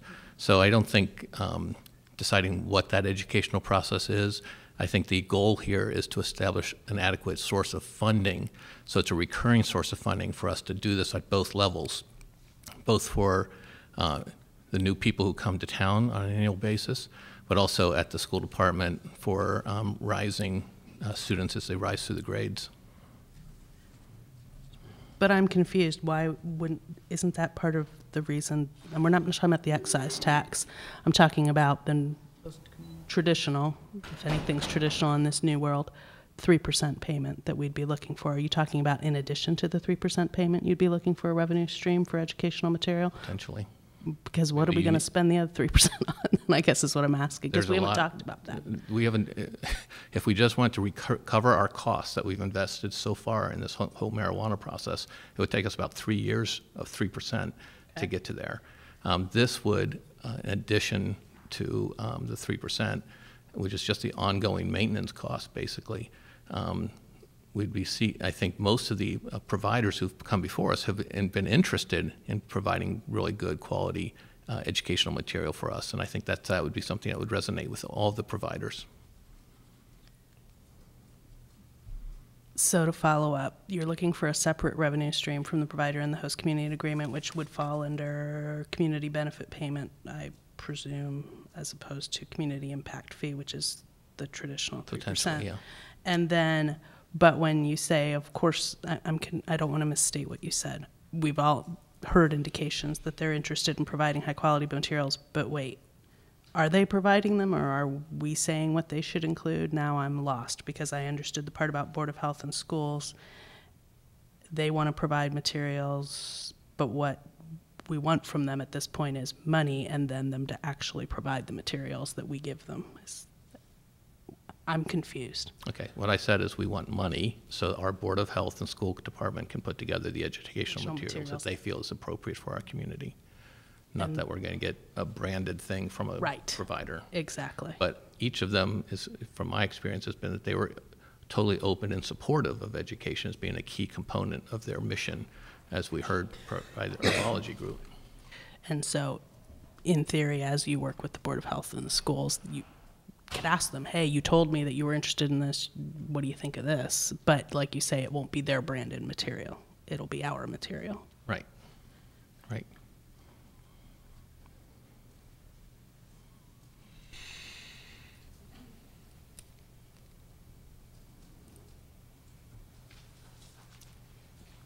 Other comment on education? Because I, And I just, uh, Yes. and I, I think because we're a unique, not unique to the world, but because we have an influx of thousands of students every year, that makes the demands on education significantly higher than almost any other community. I think that's part of why it's been raised at the level it has for us, Right. I think, in particular, but um, since Mr. Kravitz raised the question of sustainability, given the potential use of, of resources to run these establishments, depending on what kinds of things, um, of course, what crosses my mind is that we revi, we passed and then revised the town bylaw relative to net zero. Um, do we want to, and I'm posing this as a question, I don't have an answer for this, I don't, you know, I, I can think about, I can argue either side of this, about whether or not we want to um, put some sort of stipulation relative to sort of energy use and sustainability into an agreement, um, not just articulating what, what they have or their commit, you know, commitment to it's one thing, sort of having particulars, uh, benchmarks that they're trying to achieve or need to achieve or are trying to achieve. Um, You know, are we, has anyone thought about that and, and whether or not we want to pursue that, or does that start to become too difficult a burden to place on, on an organization early on? I'm just sort of, you know, like, so for example, one of the struggles we had with a net zero building is whether or not you can even do that for certain kinds of buildings that we were talking about. So do we, do we think that putting that level of, of criteria is too high a criteria? Do we want to, what, what and how would we frame a conversation about sustainability if we were going to have one relative to this and guiding, our- guidance to our, our manager? I like the idea of considering that as one of the contributions to the community, if they want to put in solar panels or whatever, and they can take credit, or a special water recycling plan, or whatever.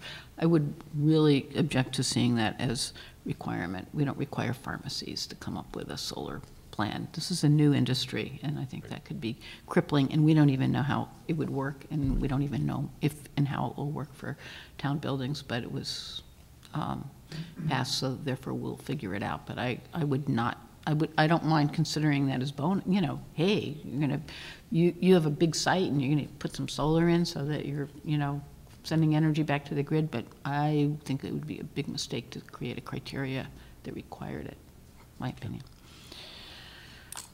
I don't know how anyone else thought about it, but I just, I wanted to raise it as a question. I- I Mr. Steinberg? No, I thought about the similar question as to why uh, we would single out one type of retail industry for energy as opposed to all of the other kinds of um, retail industries that exist already in the community and will exist in the future. And um, so I was, uh, I'm hesitant for that reason, which is, I think, similar to what Ms. Kruger was saying.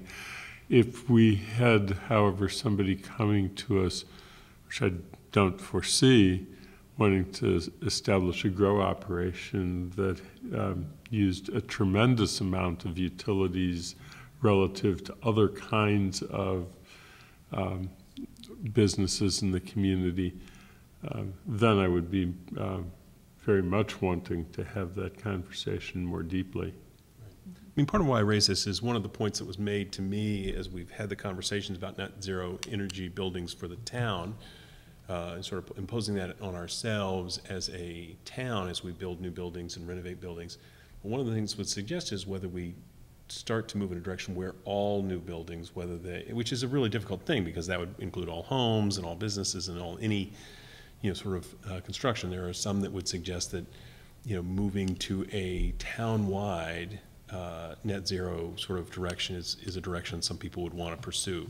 I'm not saying we should, could, uh, would, or, or any of those, but, but there are folks that will promote that idea. So that, while this would be a singling out because it's, but because it's new, it's, a- it's an opportunity to sort of see that. That's part of why I raised that. I don't, I agree. I think that it's, it currently, given that it's such a new industry, it's hard to, to sort of place that criteria. And I think having that other conversation about a broader approach to sustainability and what uh, constraints we would, as a community, put on our community members, whether they be residential or, or commercial, um, is, we're not there yet, I think, as far as the, that's such a complex and deep and expensive at this point process.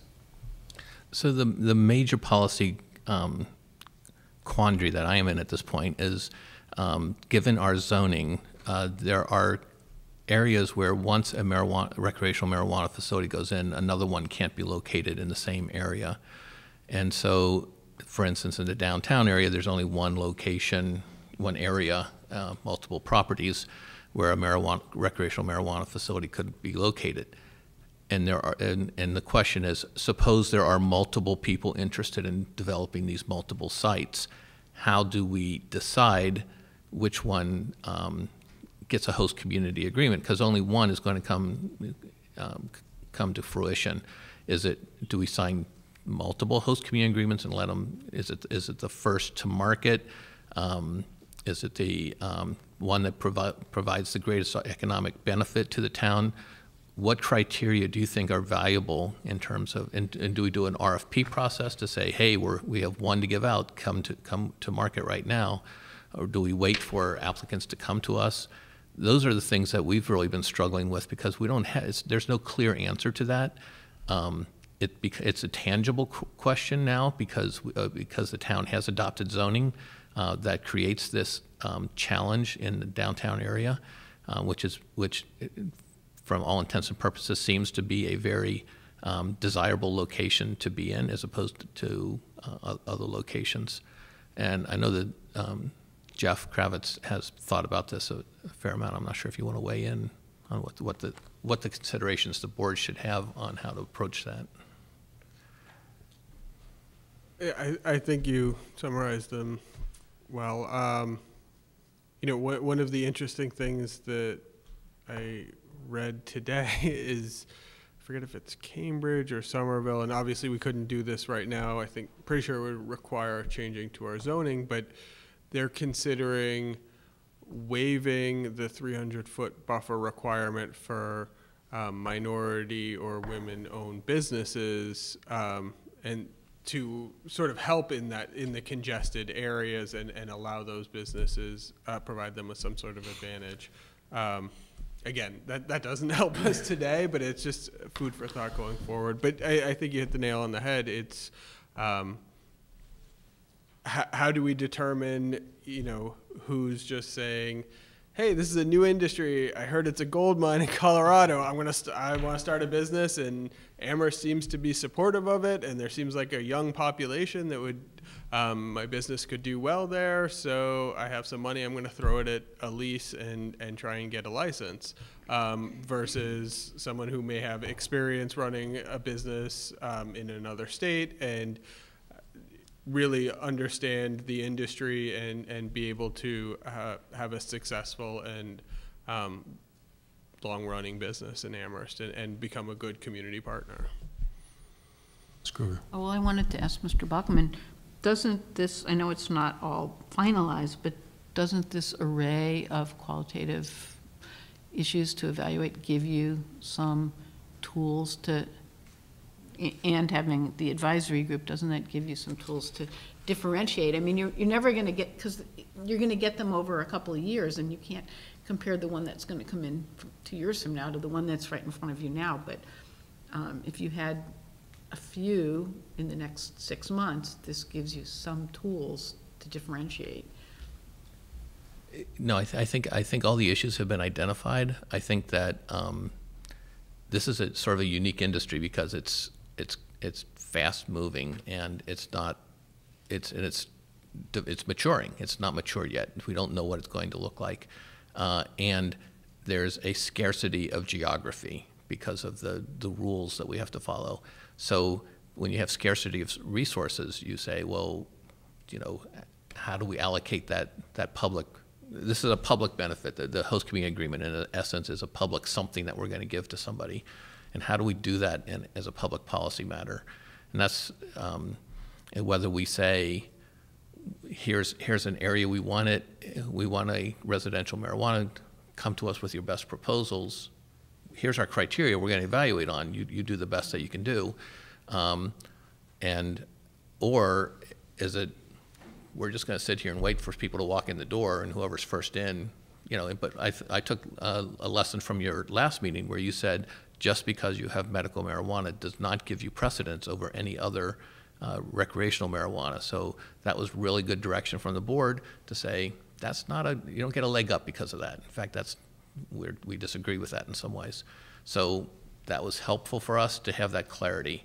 So that's the type of clarity I think we're seeking, or just to, I don't think you're going to make a decision tonight, but, to- but I think, you know, the urgency that was expressed in Mr. Kravitz's letter that people are anxious and, and, and, and we, need- and it's helpful for us to have more um, guidance for people who are interested in this because Jeff gets calls pretty much every day from somebody. So maybe it's the time to start throwing all my remaining concerns at the wall, which, one of which I want to make sure as we move forward in writing with, with items like this, and this is so helpful to have this level of detail, is that I see a very huge difference between the types of businesses. And so while, yes, host community agreements are required, and we even have here this great list from Mr. Kravitz of retail businesses, cultivators, product manufacturers, independent testing lab, and a micro business, we are not talking about an independent testing lab or a cultivator or a product manufacturer locating in downtown in the limited space we're talking about. We're talking about a retail outlet. That is a whole different situation, in my opinion.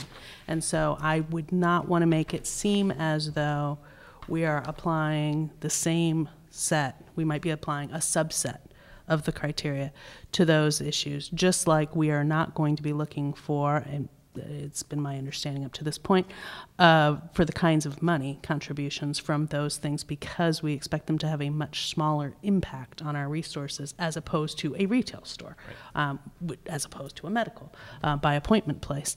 And so I think it's really important that we not think of host community agreements, even though we, they do apply to all the things, that they're not the same kind of host community agreement for all the things. And then I think another issue that I'm really wondering about, and I'm glad that Mr. Moore is here, even though he's not going to like it, that I'm going to potentially ask Mr. Bockelman to put him on the spot, is that there's a whole section here, starting on page two, going on to page three, talking about the process shall include what materials shall supply so the town manager can adequately evaluate whether to sign a host community agreement. I don't think 70% of this belongs in that application process to the town manager. The blueprints, the security plan, the odor control plan, the business plan, traffic, I don't see how any of that has anything to do with the host community agreement. I see that as being all issues, and I could be wrong and happy to be corrected by staff. I see those as all issues that are one, absolutely mandated by the state. You, you have a certain level of security, you have to do a certain level of odor control you're going to have to do. You're going to have to address those things with the state. And we're certainly not better at evaluating those things than the state is. If people want to do extra, then that maybe is a bonus situation. But all those things have to be done for the state. And so asking people to come up with all those plans in parallel with their, when they can't actually turn it into the state yet, is similar to me to the idea of we don't make them get the special permit first before they go to the state. We just have to verify that, yes, it's within the zoning. It doesn't mean they're going to get the permit, but it's within the right zoning zone. So I can see a host community agreement. I'm really interested in going back and talking a little bit more about this RFP process because I've always been uneasy about it from the standpoint that we don't own the properties. So like, how does that even work, right? But assuming there is a way, because was done, seemed to have been done elsewhere, um, to say, this is the general zoning for the area. There are theoretically properties in there that we could have one of these retail things in. Send us your best information does feel a lot more like we're only going to get one downtown. And so to say, you can, it's just first in is who gets it, doesn't really feel all that great. And so an RFP process that sounds like the way to do that. And then, but to not have all this stuff, because all this stuff is going to be handled eventually by, in most cases, zoning board of appeals. And so any concerns people have that they feel like they should be doing more than the state requires them to do can be handled, as Ms. Kruger, not only our board, but I mean, the general population can say, given that location, I think the state standards are too low, you should do more. And then that could be part of the condition for their permit. I, I don't see why they would need to submit all that in order to get a host community agreement. So I appreciate that it was all laid out, but I'm thinking maybe we can shift it. So as I, as I mentioned, the host community agree- agreement is the latchkey that opens the door. Right. And um, if someone comes in and they, and offers a lot of money, whatever the criteria are, I don't know how you can evaluate a plan of action without looking at what the plan is. You know, if they don't, if they don't say what kind of materials they're going to use to, build the facility, or what kind of economic impact they're going to have, other than sort of words, I think that um, we're going to want to know what's this, if, before we issue it, if we have competing um, plans out there, we're going to want them to compete and actually show what they're intending to build. Um, You know, security plan and odor control, maybe that's a different issue, but in terms of what they, they're going to do to the building, uh, I think that's critical uh, in terms of, um, it's just like in terms of what the value is to the town, because we're looking at, if we're saying economic development is one of the criteria, we're going to want to know how much are you investing in the building? What are you doing to the building? Those types of things. Mr. Steinberg? I guess I would add that, um, my concern that we uh, find a way of make, of doing some pre-screening because we don't want to negotiate and um, execute a host community agreement with a business that we know or believe is going to be incapable of completing the process and getting the authorization out of the uh, Cannabis Control Com- Commission. And uh, so a lot of what I saw uh, Mr. Bockelman um, and Mr. Kravitz suggesting as screening criteria really things that um, would give us a comfort level that we have a proposal from a business that is um, showing that it is going to be able to get through the process to an end result so that we don't end up um, wasting more their resources, but more importantly, what could be our opportunity because um, we lose the opportunity um, then, and all the businesses go to a neighboring town. Um, we could not have anything in downtown in the future if the one that we say the fir- um, in the door um, doesn't get through and uh, never becomes an operating business that we want to see. I'm totally confused. Mr. Kravitz? Uh, and and maybe plan might have been too strong a word in the memo. But what I was thinking is, for example, if somebody wanted to buy the Antonio's building, recognizing that there's a tiny alleyway, is there going to be even if they're not required to have security cameras on that alleyway, will they provide it? You know, making sure that they understand where their location is within the greater scheme of the community. Similar to odor plans, um, an establishment could be in a mixed-use building.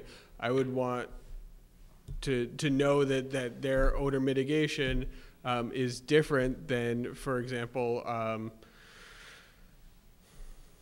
not, not to pick on anyone, but for example, in in uh, an agriculturally surrounded area um, where the neighbors are a quarter of a mile away. Um, just re- again, sort of more recognizing where the location is in proximity to other surrounding uses, and that that they had they knew that they had to address those um, moving forward.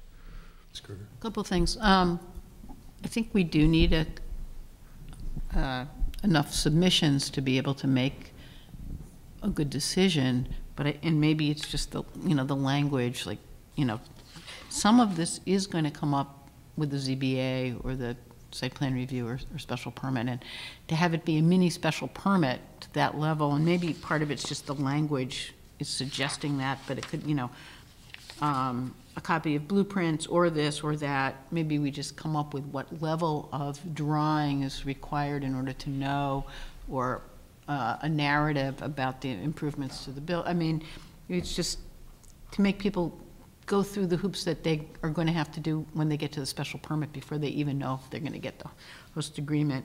Um, it- I would just, you know, what are the unique uh, criteria, uh, unique features of this site, the alley? How are you going to, you know, identify any unique criteria and say how you're going to address them? That, that might make sense. But some of this, and I think it's just because it's the first draft, can be massaged so you're not duplicating, like front-loading a special permit type of review and then doing all this and then having them come back. And um, again, as I mentioned, we can ask the ZBA to have certain conditions that we think are important.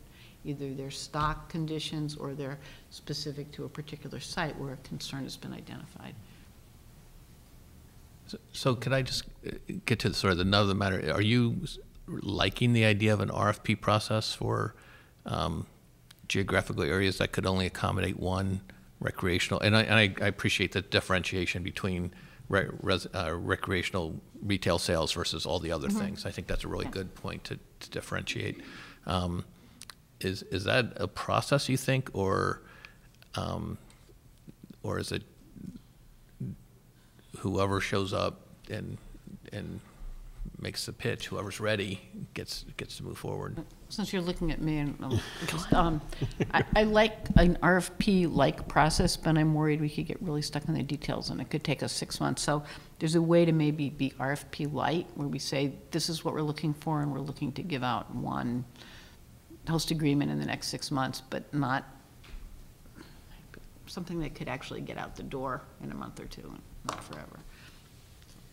So part of the host community agreement process with an RFP, I'm not 100% convinced, and maybe other people have stronger feelings about this, that you wouldn't sign more than one, that you would ask for proposals, and you might find two that are perfectly reasonable mm-hmm. proposals for that site. You sign both, and you see then which one of them figures it out. I don't think we're doing an RFP process in order to guarantee someone a spot. We're, we're, we're doing an RFP process in order to prevent ourselves from just being stuck with whoever shows up first. And so I would argue that we don't need, I'm just kind of flabbergasted by the idea that this same memo says, oh, it's going to be a significant undertaking to develop a local licensing process, and yet you're talking about doing a ZBA process with people who aren't the ZBA prior to an host community agreement being signed. That just makes no sense to me. We don't have you are not the arbiters as to whether or not it's the right material for a building. We don't ask CVS that. We don't ask restaurants that. We keep picking on CVS because they sell opioids.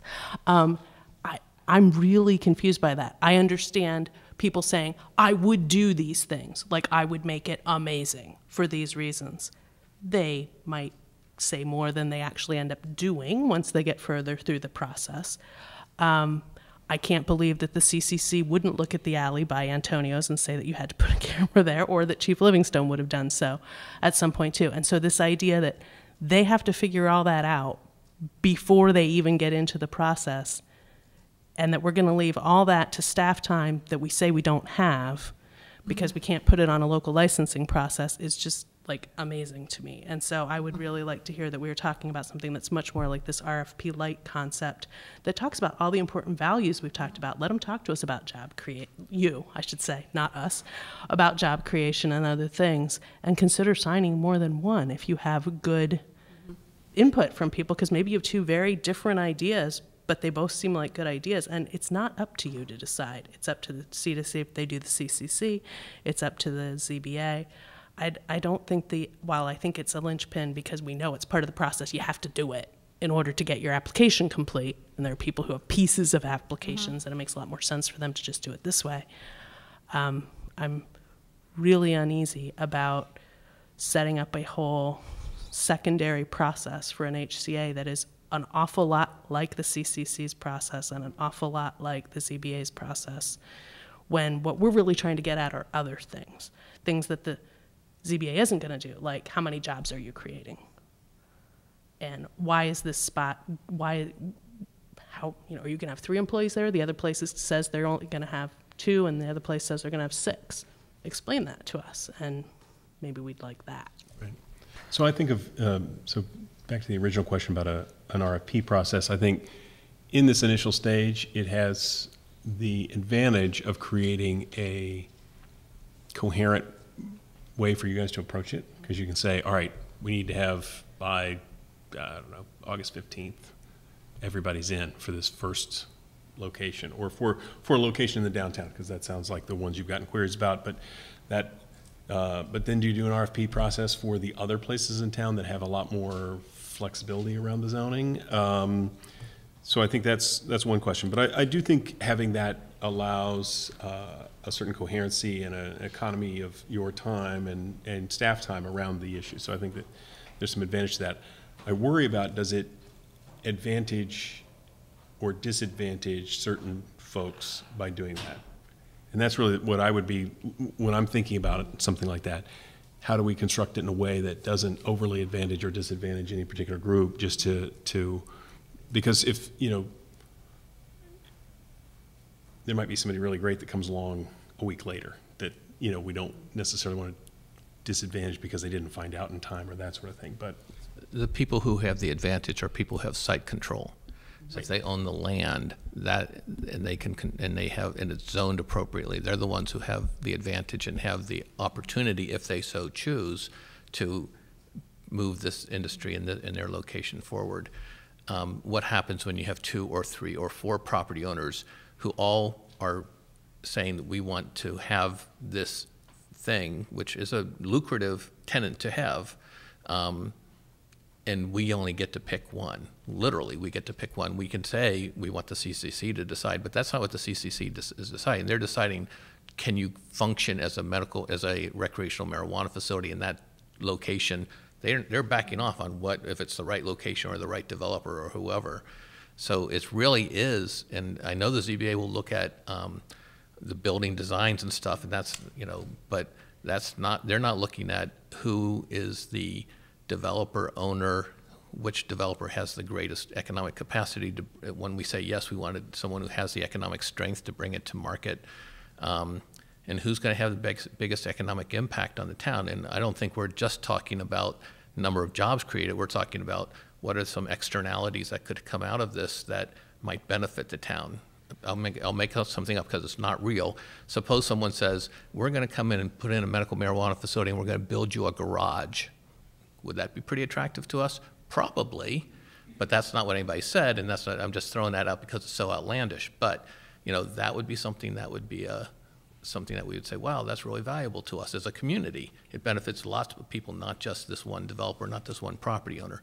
So how we value all these things uh, is really important, I think, because, because it is a limited resource that we have that we can allocate. I would say just to the point, and I'll, I'll get to you guys in a second, but to the point of, of site control, because that conversation comes up when we talk about uh, development of affordable housing, that sort of thing. Um, You know, are there other things we want to leverage? Um, So the, the, you know, the point that was made earlier tonight from, from Herbology, it's like women-owned, minority business. Does that have or carry greater weight relative to this? In other words, so there may be a greater economic viability of a different person with site control Exactly. someplace else, you know, do we value that in a way that we advantage them differently or, or evaluate them differently? Um, uh, there's another thing I was thinking about, God, site control. Um, shoot, I can't remember. Hopefully, I'll remember in a minute. Anyway, Mr. Steinberg, I think you were ready to offer comment. Yeah, no, I, I- agree with the site control and uh, the ability to um, have a place to do a business. And um, I, my, my guess is that the companies are going to come in who are interested in the downtown location and try and work with the landlord fairly early to lock that in if, um, from the business owner's point of view. Uh, and so we may not be having the flexibility that we think we have, but I think it's important that we have the process and that we make sure that we are being as fair as possible and considering as many of these different criteria. One additional criteria that then comes up is what is the economic viability of the proposed company? Um, not every company is going to come in with the financing capacity and um, sort of the, the capital to sustain the startup of a company. And where does that fit into this discussion? And should that be a criteria? Ms. That was exactly the point I wanted to talk about, because both Mr. Bockelman and yourself mentioned this earlier. I am really concerned that if we're going to look and dive into the financial viability and the idea that we're going to decide who can get the permit and the license, that we are definitely weighting this towards big business and fat cats. And I don't think we want to do that. We don't do that with any of our other businesses. We don't do that with housing. The state, when they're lending, does look at the ability to, you know, for the financing and the background and the leverage and all this complex financial stuff. The lenders do that. We don't do that. So I don't know how we're going to all of a sudden be the, the deciders of who can get all the way through the process. And I think we maybe want to look at some of that based on background and experience. But I, I'm worried about that as a slippery slope. And I, something is, uh, troubles me about that. And I really think we need to treat this business the same way we permit other businesses. Um, that, you know, when we, we've had restaurants here um, that have since gone out of business, and I heard their plan, and I was like, well, that's six months and they're gone. We don't decide, common vic, on whether we think they're going to be successful or not. It's just, I don't know where else we decide who has the financial wherewithal and how we would even determine that. Right. I think the other thing I would add, just, I remember my other point. But, but it does, it gets, enough and then it, it- well, it piggybacks a little bit on both of what they, they said, and we talk about sort of other community benefits. So, you know, another thing, you know, sort of another hook would be to say, oh, well, then, would you like to support affordable housing by donating to our Affordable Housing Trust? But does that then, again, advantage a particular deeper pocketed organization? Um, or do we weigh that against, say, you've recruited a minority-owned, you know, you as the landlord perhaps have recruited, uh, you know, a minority women veteran-owned business to start, start up, and you're gonna sort of bankroll them. You know, do we, do we value both those in a way, and those are both equally valuable? That doesn't necessarily predispose to, to a, uh, a deeper cash reserve necessarily, but I do, I do think we wanna potentially think about um, those kinds of qualitative other pieces. And I don't know if there's a, a single set or a single thing or a single list of things that might, you know, be able to be art- articulated necessarily. Ms. Brewer?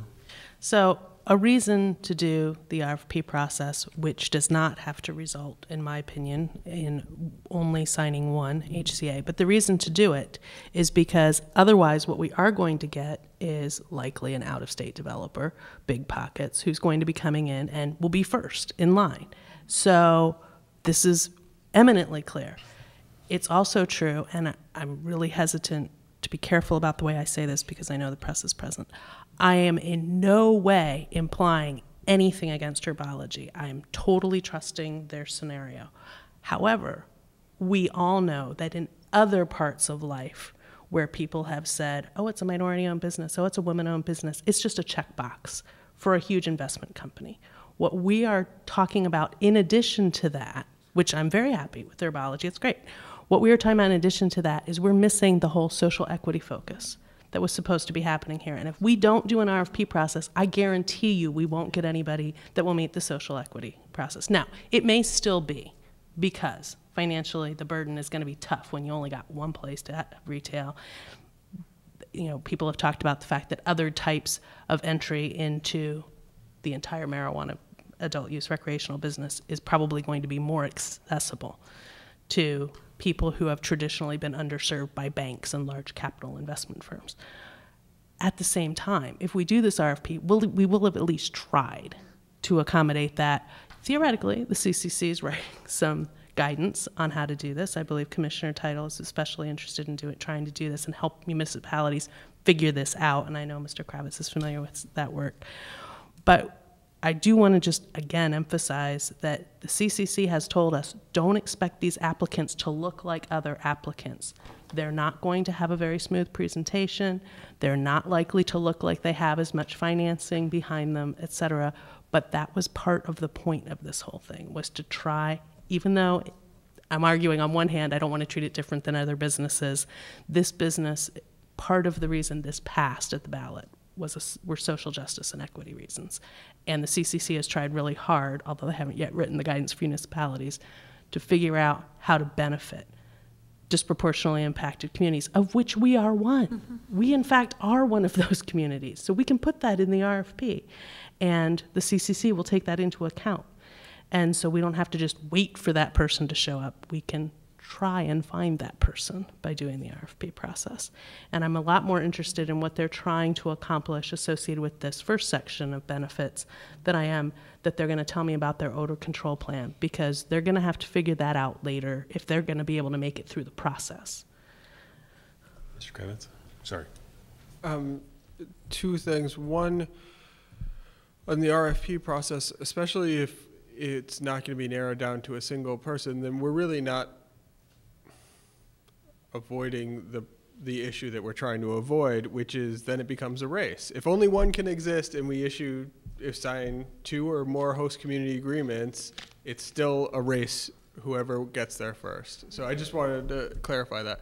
The second is um, we talked about deep pockets versus not deep pockets.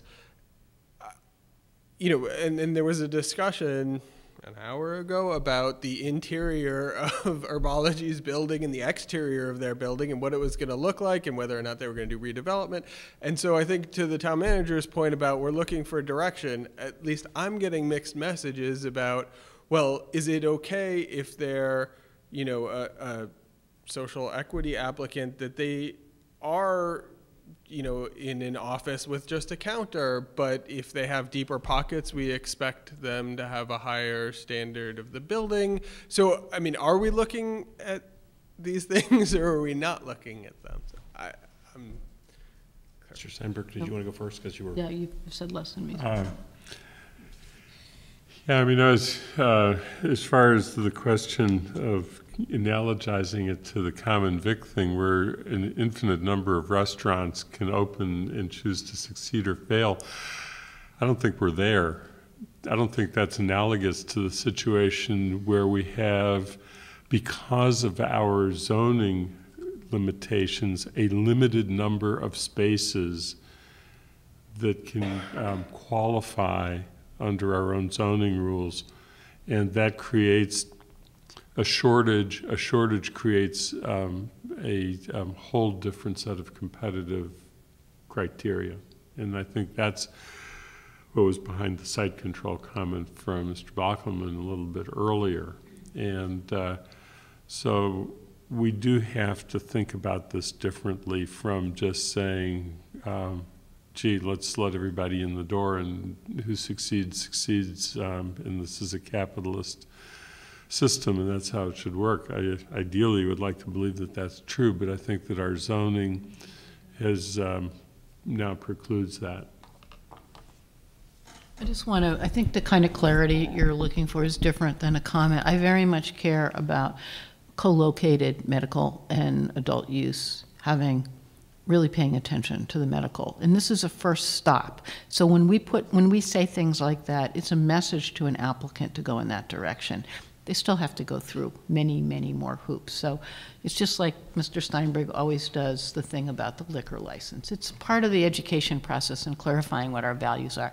If you think I was looking at that plan, I couldn't see any of it. So no. well, I was not looking at the facade. I mean, I've seen their rendering and it's going to change this was messages about, this is, this is something I care about and it's gonna come up again, and maybe that's a comment I would pass on to the zoning board of appeals or whatever. So it's a little bit of steering, but it's not the whole pie. It's not the kind of fine tuning that you would see later um, with these different stages of, of review. So just to be clear, so don't be mixed message about that, because that is just an opportunity here to have a conversation with an applicant to say, this has come up before, this is something I think I care about, and I said it was for me, but maybe this board doesn't, to give direction early on in a process, sort of like dropping little crumbs along the path. Um, But that was not, and somebody else said about, you know, the investment, or how much are you gonna put in? That's a different issue, whether it's appropriate at this stage or not, I don't know, but um, we're really wrestling with how to get the best, some of it is gonna be a race. I mean, I sort of agree with Ms. Brewer that there could be more than one, that the- they may be, this gives us this, but this gives us, often, in when you're deciding between two consultants, you wanna combine them. It's like, oh, I like this and I like that, and you have to make a decision, so it might be, you've, you've passed the bar of our minimum requirements, or you maybe have reached this even higher bar, and so there may be more than one of you, and you're different, that meet that higher bar. I don't know that we're gonna have um, exact clarity in, it is new. So uh, I guess one of the things I would like, maybe you could probably figure out where we are on this. And, and for the way this is set up is host community agreements is taking priority over licensing. And um, because that's where the need is from the applicants, because licensing is optional, host community agreements is mandatory.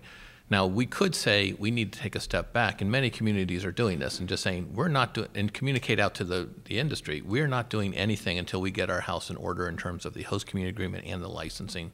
So we're going to take a step back, come back and visit us in January or some other time when we get things squared away. Um, but that's not the read I got from, so at least the internal working group or somebody, I forget who, but. uh, Or the editorial. yeah, well, maybe the editorial. Had I read it, I would agree with you, but, um, the, uh, but the essence of the, was that we want to, this is an industry, that there's an opportunity for the community, that it's something the community supported, that we should be pursuing, not pursuing, we should accept, be accepting the interest in it. Um, and in order to sequence that level of work, host community agreement takes priority over licensing if, if the board feels like we need both before we can move forward, we should say, that'd be helpful to know right now, because that would change our schematic in terms of our time frame on these things. So I'll offer my opinion about that. I think that the, uh, the host community agreement is not admitting of delay. Um, In, in that, I think that we need to move that ahead, and that is a process that everybody has to do. So I think we need to get that framed up for people. I think we also need to give our, uh, our intent about licensing. I think, uh, as, as, as uh, Mr. Kravitz outlined here, I think it's a, trickier bit of business to, to do. I think we haven't done as much on it, so there's, we've got to sort of work through that, and it's going to take longer. And I think it's more difficult to make an argument for that relative to the charter transition. I think it's going to be something where I think we have an opportunity as select board to sort of tee that up for next. Um, But I think we, what I would suggest i- in my own thinking about this is that, um, you know, give good guidance relative to host community agreement, move ahead on that, let people start in their process and keep moving, but with the understanding we, we're likely to do a licensing. Um, I would suggest we are gonna do one, because I think there's an enforcement component that we need to have relative to, you know, if someone's a bad actor, we wanna be able to pull the plug. And host community agreement's not gonna let you do that, probably. Uh, ZBA is not gonna be able to do that. I mean, there's some ways in which they can, but not very many. Um, So, you know, if, uh, so I think that, that it, it would be hard to put some of that into a host community agreement, maybe not appropriate, but licensing is the right place. So I think there are some things around licensing we can do. I don't think we're gonna get there with this group, because I just don't think, A, we, we're gonna have the capacity to do that, and B, I think it's more appropriate, given the transition, to sort of prepare as much as we can and then, and then deliver that to them for, for action as soon as possible once they, they take office. Um, But I think host community agreement, we do want to keep things moving along in that regard. Um, And I think that, that um, my suggestion, and it may be my colleagues may think differently around the licensing. I think we should have it. I just don't think we're going to have it before December 4th. But they should expect, I think, the likelihood of that to be a piece of the puzzle as they go through. Um, Mr. Steinberg? Yeah, no, and to immediately follow up on that, I think there's a question that I've been pondering, and that is, if a host community agreement is entered into and um, then it goes through the entire process, before we create a licensing, can licensing be applied retroactively to the businesses that are already um, established and running? Um, Can you- have in a host community agreement, um, a provision that makes the, any future licensing, which is containing unknown conditions, applicable. And um, I don't know the answer to that. I don't think that we can discuss that tonight without getting our own independent legal counsel on that subject unless we already have done so. And uh, so I don't, I, I um, as, as lawyers sometimes do raise issues, but don't always provide answers, and that's one of them. Thanks. Um, and uh, the other um, then tangential thing I've mentioned it before is that um, I do think that one of the questions about licensing is that um, in the end, what we are after is to make sure that if our enforcement mechanisms, most likely through our police department, find violations, what um, avenues do we have to take action um, immediately without going through a separate state process? Do we have the authority to come in and um, revoke a right to do business? And can that in some manner be incorporated in a host community agreement as opposed to an unknown future licensing process that we all agree isn't going to happen between now and um, December when the council replaces the select board?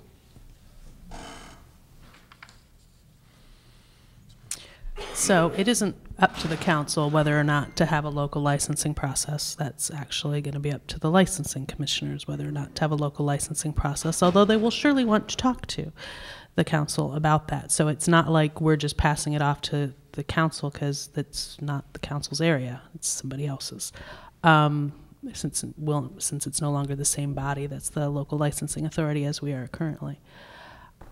I have asked about this at least twice before as to whether or not we could legally compel someone who signed a host community agreement to follow new licensing requirements. I don't know that we've gotten an answer from KP Law, but that has been brought up in public session before and in private conversation. So I agree. We need an answer to that. We have needed an answer to that. We also need to know the difference between what is legally possible to do and what is preferable to do, which, of course, as I believe I made the analogy of the town manager contract, which is that town managers prefer not to sign contracts of one year in length. they prefer to sign longer contracts, which is totally reasonable on their part, even though you have community members who are like, ah, just give them a year. Um, similarly, host community agreements can be up for five years, but they don't have to be for five years. But that's part of the negotiation, right? Is how long is it for? So if we legally can't say you will future in future have to follow a local licensing process, then I'd say their HCA is only good for a year. But if we can say it, then even though they may not prefer to sign one that says that, I'm hoping that that is not enough of something to say, ah, well, then we'll just go to Hadley. So that's certainly one of the concerns, and that does definitely need to be defined. And I, I do see it's here on page three of the memo acknowledgement that it may be subject to local license requirements in the future. Your point about enforcement, which I know is a particular concern of Mr. Slaughter's as well, as he said, is tricky because they only hired their first enforcement person in charge of enforcement at the CCC six weeks ago. And so they have a lot of ramping up to do to figure out, although they've assured me they're not going to be underfunded the same way ABCC has traditionally been. So what will be we be able to do, right? Versus what they do, just like now with ABCC. So that is definitely yet another portion of that that may even need to be called out separately than local licensing because local licensing can be anything. In fact, I had to work pretty hard to get some people to remember that local licensing is not zoning. Local licensing is in addition to things like zoning. Um, so I think I think including both that and the local licensing, I think, is a, is a really worthwhile thing to consider doing. Another thing I would like us to consider including in the host community agreement is since some places have already started having community outreach meetings, even well in advance of doing anything further. I think any feed it would I think it would be good if they said when they came to you to sign the HCA, this is the feedback we got at our community outreach meeting. This is how we're addressing it. Otherwise, the, you know, the community outreach meeting, which is purely a dog and pony show at this point, having been to two of them, um, if not, there's anything wrong with dogs and ponies, but is that I think it would be a valuable thing for the person signing the host community agreement to say, what did you hear? Did you hear, did anybody come? I mean, you know, were there three people there and were they really concerned about odor, about a security camera, about something like that? And it may not be, it may just be something completely off in left field, but it may well be something because otherwise I don't see absolutely any connection between the community outreach meeting and the entire rest of the process, except check, we did the process. So I think that would be a valuable thing. And it would also show the community there's a point in showing up to these community outreach meetings because it would get back to the town manager. Manager should not have to send staff to every single one of those to see what they're saying. I think some of that burden should be on the person running the meeting. And if I could make one other statement associated with the bottom part of this memo that talks about whether or not this is allowed by the transition provisions in terms of local licensing. So I'm just going to go ahead and say, since I'm not an attorney like Mr. Kravitz is, um, no, I totally disagree with the assumption here that this could, of course, anything could be argued. I would similarly argue that we shouldn't have done the zoning for, for marijuana then, because, hey, we could have just gone ahead and let the building commissioner decide where to put everything. But we chose not to do that because we thought it was not something that would frustrate the purpose because of the timing of this new industry. So I would argue that a local licensing process does not frustrate the charter at all because of the timing of the situation. However, hearing that everybody's taking a really long time to get done with their process gives us more time. So hey, yay, we win anyway. But I I just can't agree that that's a justification for not doing the local licensing process. The fact that we don't have time and we don't have mm-hmm. bodies to do it is, is a justification. But similarly, coming back to something Mr. Bockelman mentioned, and I want to make really clear, especially people who write editorials, is this town is not dragging its feet on HCA's. We have never drug our feet on HCA's. We are just trying to figure it out. There are other municipalities who are specifically misusing the process. They didn't get a moratorium established and they're just dragging their feet on HCA's. We are not doing that. We are just trying to figure out safe and deliberate implementation. And so I'm really offended when people say that we're doing that because we are working really hard to figure this out to make it work for everybody. Just to weigh in, I think um, it is desirable to have a local licensing process, but I agree that we want to work on getting the host community agreement piece set. Um, I totally disagree with what this memo tries to allege about not appropriate during the transition, and it could make the arguments the other way. So I think we don't really need that to be addressed here, because my understanding, that is the sole purview of the select board It to is. decide.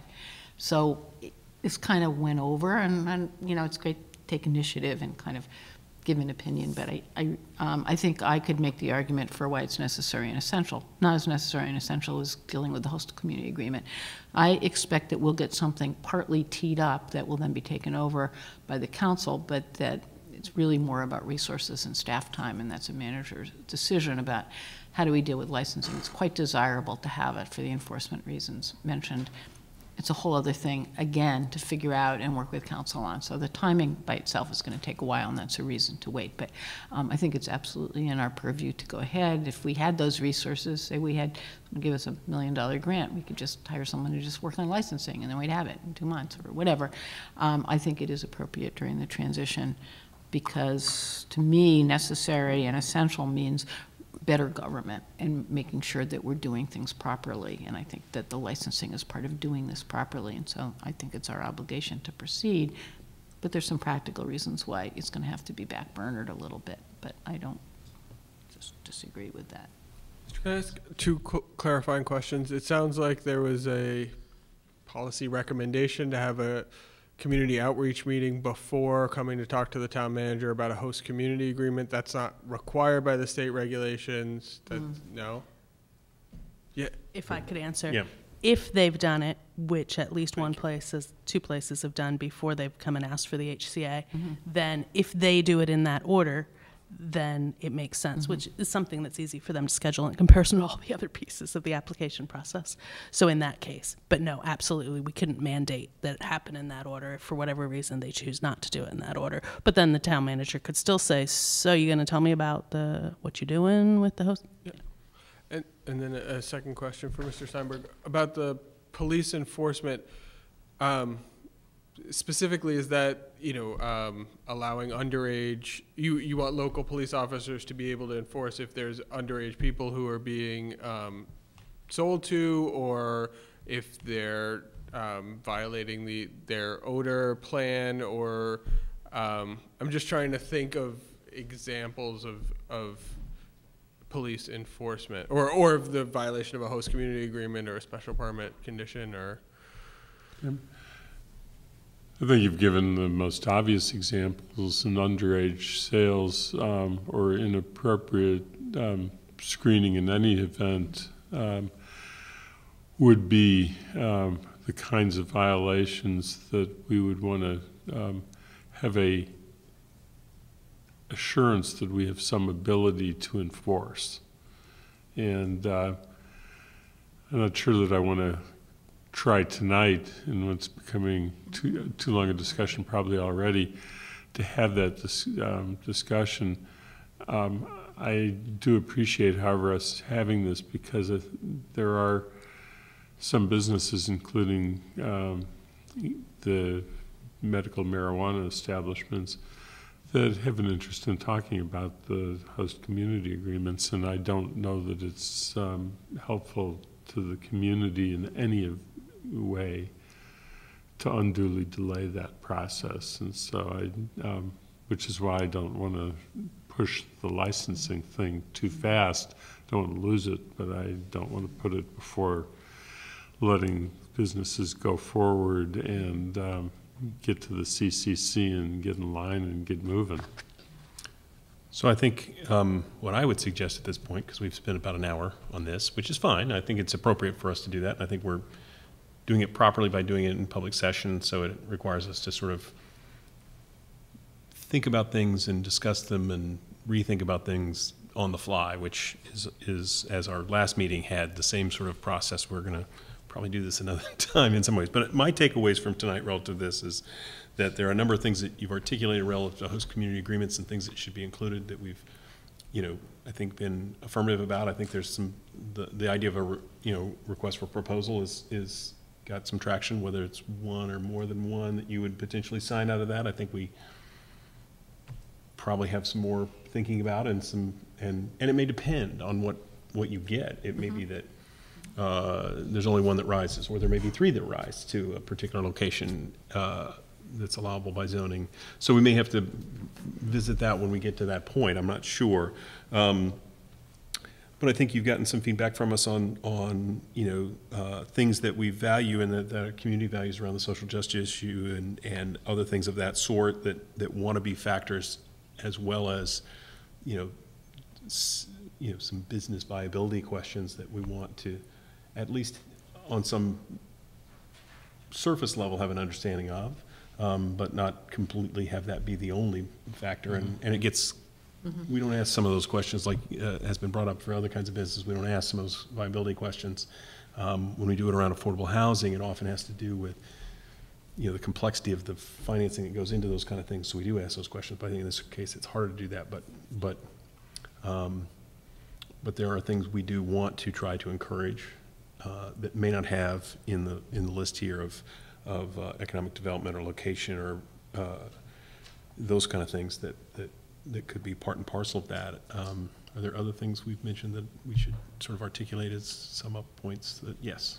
Well, I mean, following up on both the enforcement piece and the local licensing piece in terms of whether or not those can reasonably, you know, we're charting new ground, but um, be included in the HCA, and if and if so or if not, that might influence the length of the HCA, given that. Um, and to be clear, when we're talking about the economic viability, I mean, this is a really gray area, and there are clearly differences of opinion between us. I was frustrated previously when one of us was concerned about whether or not someone was legally a nonprofit, which I felt was really not our purview. I can see restaurateurs come before us who clearly are just, as we say, going to be closed in six months. And in fact, although there's not the kind of limitation that there is on this one spot for a retail location, there are a limited number of places you can open a restaurant in Amherst. And yeah, so if we waste a common vic and waste the uh, permitting process on someone who clearly doesn't know what they're doing, that's too bad, but you know, it sorts. I appreciate, though, on the other hand, if, if we're trying really hard to be sensitive to the social equity issues, particularly if we get some guidance, I mean, hopefully, they say they're going to do it soon, to municipalities about how they think we might include it, um, I think that would be really helpful rather than necessarily expecting it to look like some of the really well put together packages that we've seen from people who are much more experienced in this area because I think we have made clear that we are not just interested in who's going to give us the most money. We are interested in the social equity provision as well, and I believe that's part of our community value associated with that. And I would also just want to make sure before we end this conversation that we give some direction to the town manager associated with all the things that aren't retail in terms of really moving forward on that as well. Because if we have one of the few testing lab applications in the pipeline in Amherst versus the entire rest of the state, I'd love us to be early on in that. That'd be something that would be a great thing for us to be, or if there's uh, some, I don't think the co-ops are ready yet, but something Right. else like that. I think that we, we'd be doing a service to the entire Commonwealth if we could suggest making progress on Right. the non-retail. Right, and aspects. my opinion about that is that, you know, given the area in which those businesses operate, you know, they're not direct to the public at large, they're a business-to-business business. Yeah. if that makes Three any- businesses, that's right. Um, I, I think there are some things about benefits and economic development and location and e- a little bit of public education, but since they aren't dealing with the public at large, I think there's, there's some need, because they may want to articulate, well, this, you know, we're bringing this near your neighborhood, by the way, this is what's going to happen, and here's what's going on. The public education aspect of that's a much different animal, but I do think we should move forward on, on those things, um, if, if, you know, available and so that might come to us first, because there may be something there that we can really move ahead with on that. Um, But, but I, I think the retail is such a delicate one to, to contend with. I think that's why we spent so much time on it. I'm- aware that we have some senior staff here who sat through our meanderings of this conversation, and I wouldn't want to miss an opportunity to hear their wisdom. I think they're, they were here as part of this issue. Just wanted to- So since they are here, Ms. Ms. Brestrup, would you like to share some thoughts with us about this as well? Good evening, Chris Brestrup, Planning Director. I just have a few technical um, things I wanted to point out. One is that the map that was included with the uh, Planning Board report to town meeting is not a surveyed map. This is a map of the downtown area where we, in the Planning Department, um, made an effort to show um, some of the um, uh, buffer zones around various uses, particularly residential uses, but also the high school. But we didn't survey anything. This is based on the GIS uh, plan that we have online, and it's based on very rough um, calculations as to what the distances are. So there may, in fact, be places in the downtown area, aside from the, the specific location that you've been discussing tonight, that could actually um, house a, uh, a retail um, facility. So I just, that was my, the first thing I wanted to point out. The second thing I wanted to point out is that I think that the reference to um, blueprints and um, you know site plans and things like that in the suggested uh, host community ag- agreement requirements is not really as onerous as um, you might think it is. Uh, we're not talking about having engineering drawings.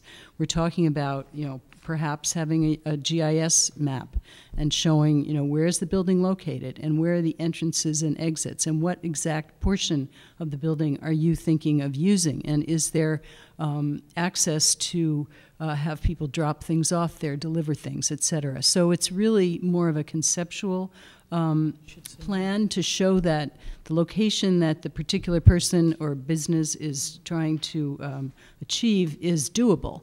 It's not. It's it's kind of a reality check, and I think that the town manager would probably want to see um, some sort of plan to show there is a building there or there isn't. Is there parking there? Um, is it possible to access the site from a roadway? Um, just those very practical things. And I think those could be done in a conceptual manner. So I, I don't think you should think of this as a requirement for um, a whole set of engineering drawings. Perhaps the word blueprints might have thrown you off, um, but it, this can possibly Although be at eight and described. a half by 11, I'm not sure. Well, it doesn't matter. the usefulness is. So, exactly, it should be Large, larger is big better. enough to read, but it doesn't have to be done by an engineer. So those are the only things I wanted to share with you. Great. Thank you for that. I appreciate that. I appreciate you bringing up the, the point of the maps that were at town meeting, because I think people will use those as a reference, and we, we don't want people to lean too heavily on those, because they were uh, to give a, an idea of, not a specific, here's the border, period, kind of thing. Um, Mr. Moore, did you have anything you wanted to offer to us at all about this? Um, Yes. Um, I'm reminded by what Ms. Brestrup said that I, I wanted to make one other thing clear, and it reflects something Ms. Kruger brought up, oh, hours ago, on page three when we were talking about the internal review team. I- I just want to be clear that while, yes, as always, I am saying very clearly, as I always have, that it is entirely within the town manager's purview to do the HCA. It is entirely within his purview to decide who he's going to talk to, and we're very grateful that he has worked with the select board up to this point. I will also say that with this process, as it's established, you are letting staff decide, not appointed officials, not elected officials, if somebody meets the bar to get in. That I find unacceptable. And we've had planning staff who did that decades ago, that I do not think it's appropriate for staff to tell people whether or not they are going to be able to go through our process. I think it's good to give them realistic expectations, and I think that's why these guidelines are really helpful, whatever format they end up in. But I absolutely object to the idea that staff would be able to say no to a business that was considering coming here without some appointed or elected officials associated with that, which is like, for example, the ZBA. So I just don't want anybody to think that they're going to get, even though we have amazing staff, that they're going to get held up at that point in the process. Completely separate of that, I also just want to make sure that I'm clear. I don't believe we're getting anything back about an HCA for an independent testing lab or cultivator or product manufacturers at this point. I'm believing that we're directing the town manager to move forward with whatever he needs to do that, given all the things we've talked about tonight. I, and he's got this whole separate process with retail that we're talking about. But for that, I'm not seeing that it's coming back to us except to say, yay, it happened when it happens. Uh, That's my sense of the board. The consensus of the board is that for those establishments, I think we've articulated Yep. enough Yep. uh, guidance for you, hopefully, that you can move ahead on that. I certainly see that. And I- And actually, that segues nicely to my next point, which is, as we move ahead, how do we want to, from an agenda standpoint, and thinking about host community agreements, do we want to approach this topic? Do we want the manager to go and do some work, which some length of time it's appropriate, and come back to us with something? Or do we want to uh, just go with tonight's guidance and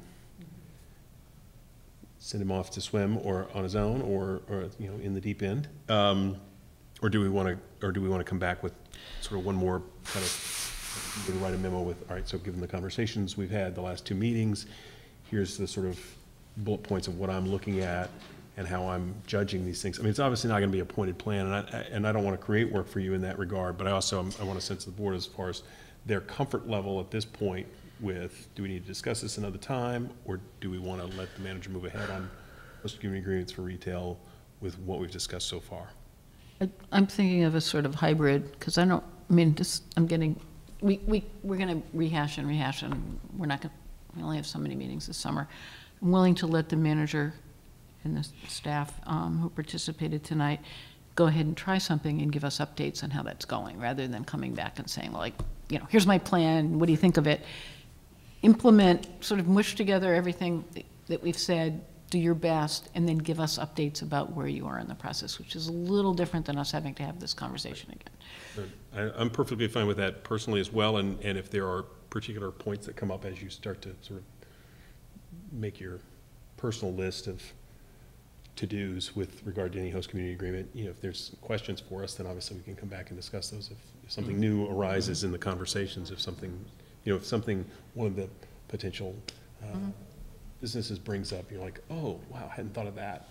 Maybe, you know, if you want our feedback, certainly that's a possibility to be added to our agenda as well, but I would like us to, in terms of agenda setting, and I know sometimes we just talk about things under town manager's report, which is totally fine.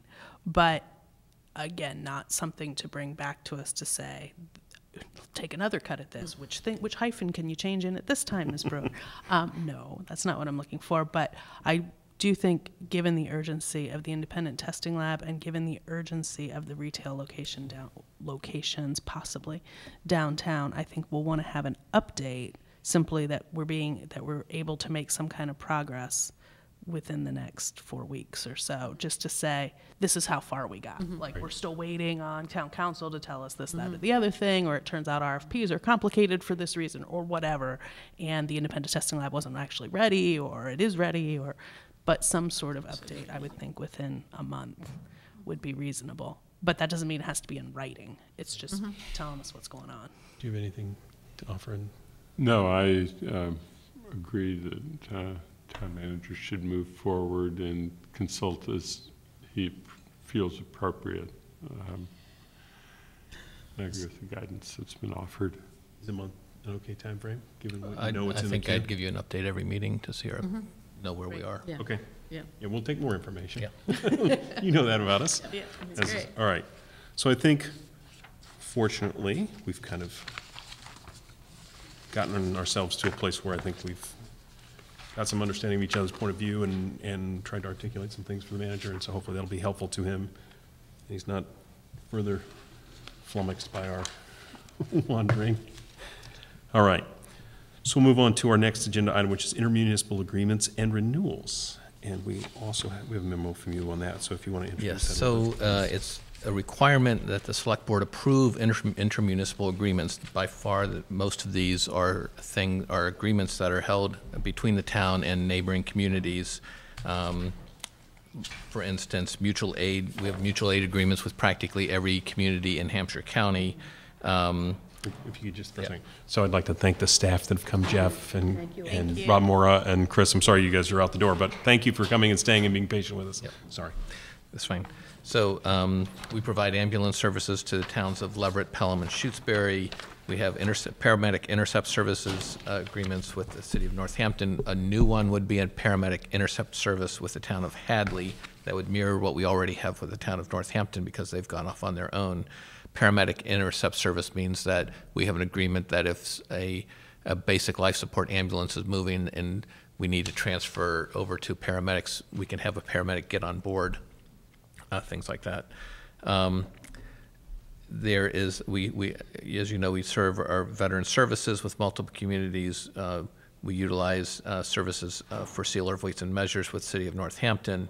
Uh, there's one on there we don't do anymore, which is the municipal hearing officer with City of Northampton. There's some that we gathered that I found out after the fact that we don't have those agreements anymore.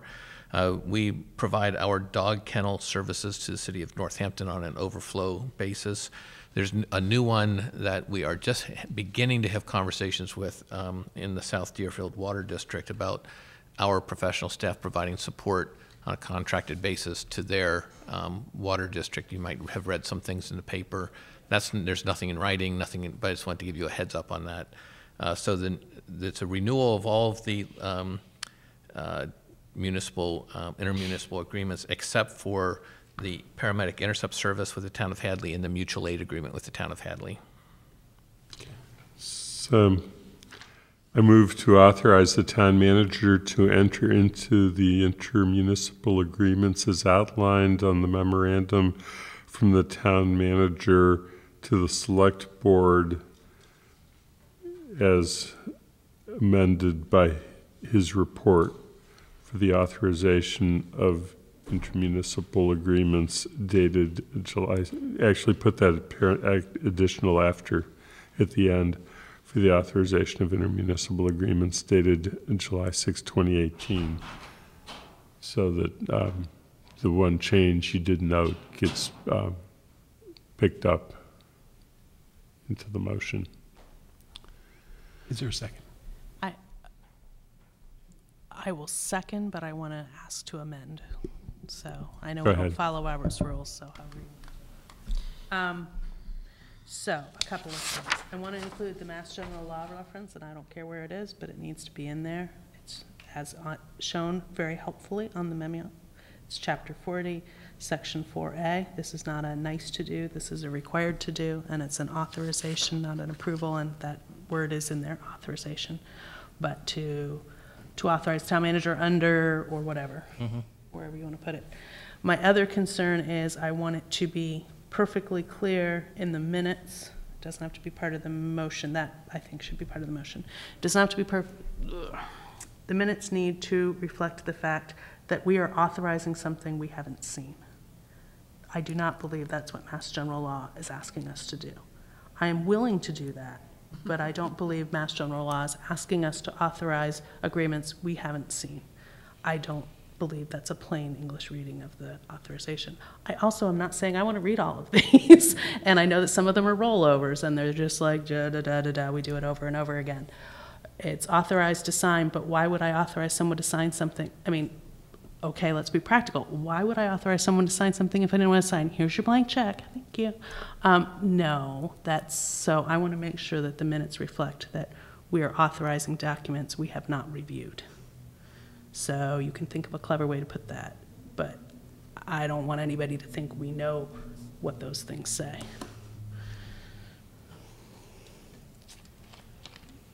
Ms. Kerr? Would it, I, I don't want to read them, but would it be ade- adequate to say they were publicly available for review?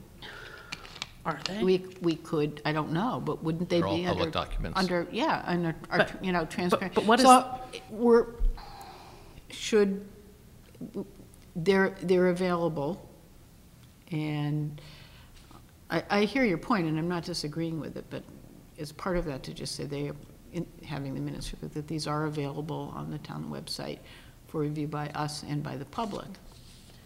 I know, we're already authorizing them to do it, so what's the point? But, um, So to follow up, to be clear, normally, the list of documents includes documents we've seen. It does, the list of documents isn't going to include this. I They're understand. not all in one place on the website. So they're all something that people would have to go and request. And I really hope that for staff's sake, they don't go and request them all. But um, I just want to be clear that we're authorizing documents we have not read. We are assuming that it, they are entirely appropriate to sign. And yes, public, please go read them at your leisure. Um, if you can. but I would normally not vote to authorize an agreement that I haven't read. If it was the strategic partnership agreement, would we feel the same way? I don't think so. So that's still an authorization as well. So let's just have the minutes say something hopeful. Is there further discussion? Is intermunicipal hyphenated or not? Because it is on the agenda, but not on the motion. And I believe it's intermunicipal agreement, capital A. So we just, to be consistent, motion and the minute and the, and the agenda don't match. Golly, I don't think it's hyphenated in the law. I don't See, think it's it is spelled with either, but it is on our, it is on 4C, just so we know, and I think it would be.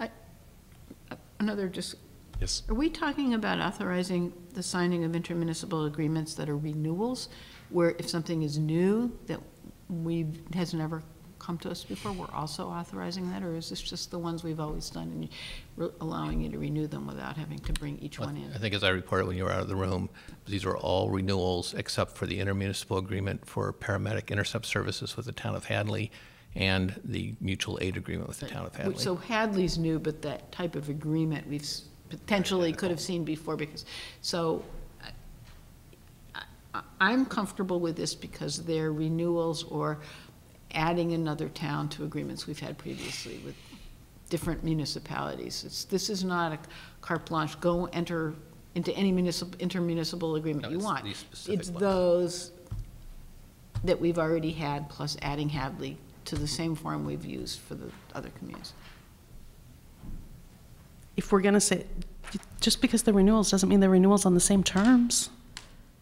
The terms could be completely different. That may be true, but I'm, but I'm just saying that's different than saying any intermunicipal agreement you want, don't show it to us, fine. We're talking about ones we have, and yes, it could change, but there's sort of in a defined universe of things that we usually do.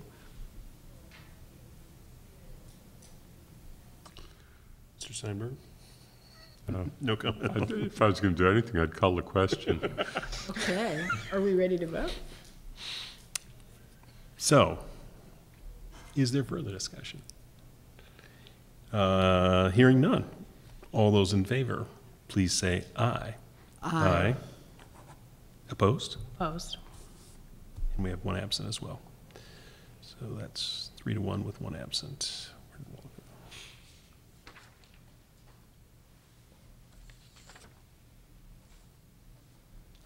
All right.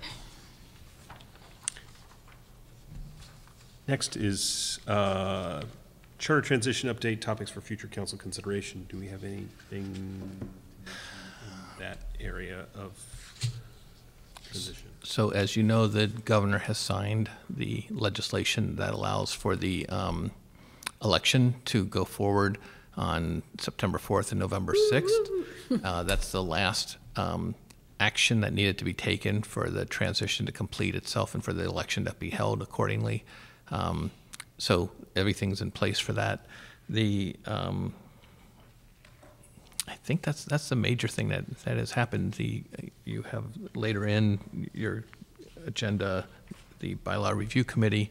Um, one other thing I did want to mention is that um, I've invited all council candidates to a, information session on Wednesday night um, to um, to meet with department heads, and we would make a, the department heads will be making a presentation to all the council candidates in an effort to um, make everybody, make sure everyone who is a council candidate has a, a base level of information about the town, and also to open the door for, for some um, communication between me and the council candidates, uh, but also to sort of set some expectations for what um, council candidates should expect from town staff.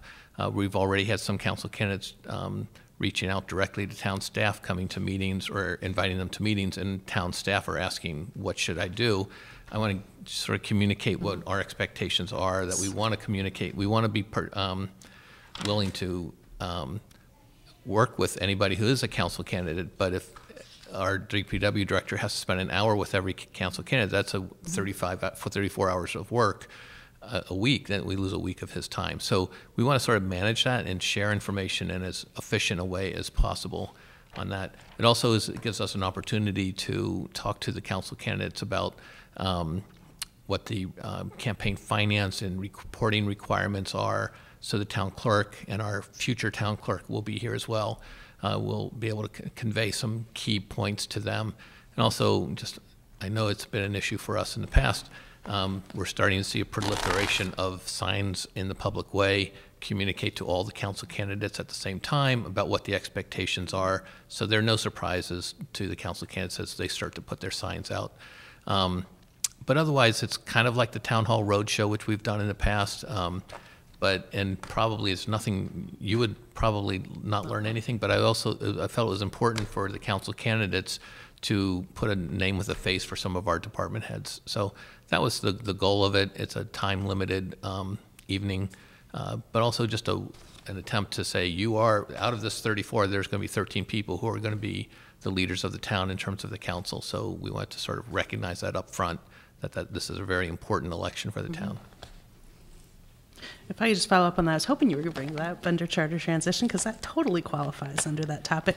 But I also want to emphasize to the public that select board members don't get an hour of the DPW's time, have not gotten an hour of the DPW director's time, except when he's sitting out there in the audience for everyone to see, ever.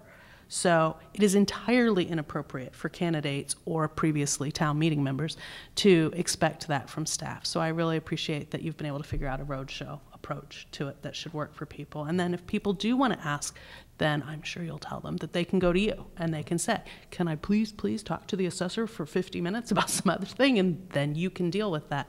But our staff is so generous with their time that I feel like they're sometimes taken advantage of. And so I appreciate that, that you're going to set the ground rules for that, and yet at the same time give everybody a really good introduction that they may have never had, especially if they've not been town meeting members. So that sounds great. Are there any other updates, topics that you know of, or that my colleagues know of or need to inform us of relative to charter transition? No. The nomination papers closed last, well, On the June 29th, June 29th, that all went yes, all went, went really well. without There's a issue. list. That's the other thing you should say. You made a list. Go right ahead. Staff made a list um, that's readily available right there. You can just find it in the banner so that anybody can go and look. They don't have to worry about how people's names are spelled or whatever. Figure it out, write it down. They made a, they made a nice list for everybody. Right. So just, so the, staff is working on a lot of different things. For instance, um, you know, we're having conversations about how to archive the town meeting.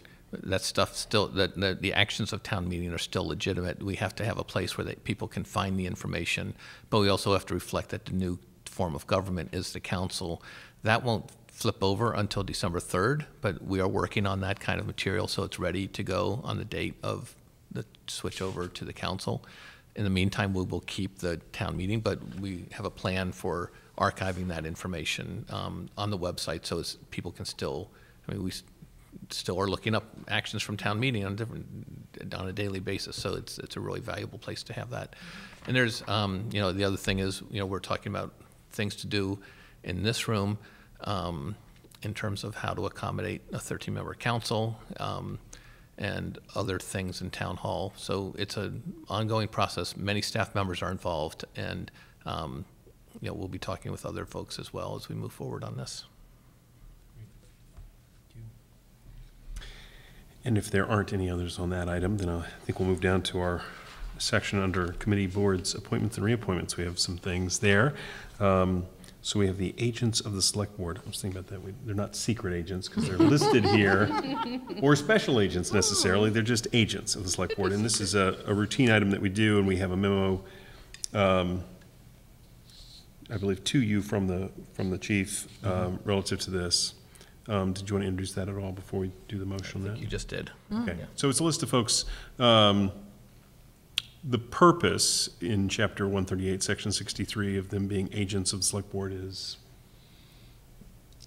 To carry out your function, I, um, see, I put you on the spot, yeah, because I didn't look it up either. I think it's just so they can execute their, their Their tasks. functions, so they- And, and, uh, We have this every year, we should know it, right? right, exactly. It's probably, it's because we only do it once a year, so. But I would entertain a motion while I move to a- chapter 138. I move to appoint the police officers as recommended by Chief of Police Scott Livingstone in a memo dated June 29, 2018, and approved by the town manager as agents of the Select Board in accordance with Mass General Law, Chapter 138, Section 63, for an effective term of July 1, 2018 through June 30, 2019, Is there a second? Second. Okay. Now, I note that um, Goes past our it goes past the term of the select board, and I assume, but don't Not know, something that um, the, the um, council replaces the select board in this capacity and that they become um, agents, but uh, since we've, it, uh, That's the only thing that's causes pause about the wording. I wonder if we want to modify it to say, um, or, or sooner if uh, law requires, because we don't know if under that section of Mass General Law, what, what it means if there's a council instead of a select board. Maybe a So it may section. have to be reauthorized because it may be a different clause. Yes. No? But that's the exact reason not to do this. We need to not do this with every single thing that happens. We need to not say, oh, we're approving a common vic, but, you know, halfway through, it actually belongs to the licensing commissioners. Like, we just have to go ahead and do things. And these things will sort themselves. Certainly will be okay. Be pointed out to the bylaw committee, though. Right. Because isn't this the kind of So thing? this, this is, a- they enforce, as you, as the licensing Mm-hmm. authority, they enforce actions under you. That's why you have to appoint them to act on Right, your since behalf. our agents. Because you're the licensing authority, they're your agents when things, when there's a liquor license violation or something So like we'd that. be wrong to put council because they'll probably be agents of the new licensing commission. So that's why we just shouldn't touch it. We should just leave it go. I, I'm not disagreeing with you, Alisa, but I think it's worth at least considering. We don't need agents after we dissolve in December. Somebody else needs agents. And so I don't know if this action going all the way to June thirtieth makes sense, because if there are agents and we don't exist, what does that, what's the point? Yes. They're agents of the licensing authority. They're not agents of the select board. You are the, you happen to be the licensing licensing authority at this moment in time. There will be a new licensing authority uh, come de- December some point. Okay, So they're Um, agents of that. Of the, author- whoever the authority is for All right, that license. All right, Yeah. got it, all right. Carry over. Is there further discussion? Hearing none, all those in favor, please say aye. Aye. Opposed? So that's uh, unanimous with one absent. Next is uh, status of extended committee boards terms. Um, Do we have any update there as far as, Uh, The, the one person we have is um, the the bylaw review committee. okay, that's the only one. So in that regard, why don't we take that one up as well? So if you would like to make a motion relative to that? Yeah, I'm going to move to appoint Ken Hargreaves to the bylaw review committee. Second. And uh, I think that's sufficient because he's going to serve until the committee um, dissolves if we agree. Um, So let me explain what had happened because uh, we've gone through, of course, quite a process, as um, I think the entire board knows, since uh, Ms. Moran indicated that she could not continue to serve and submitted a resignation.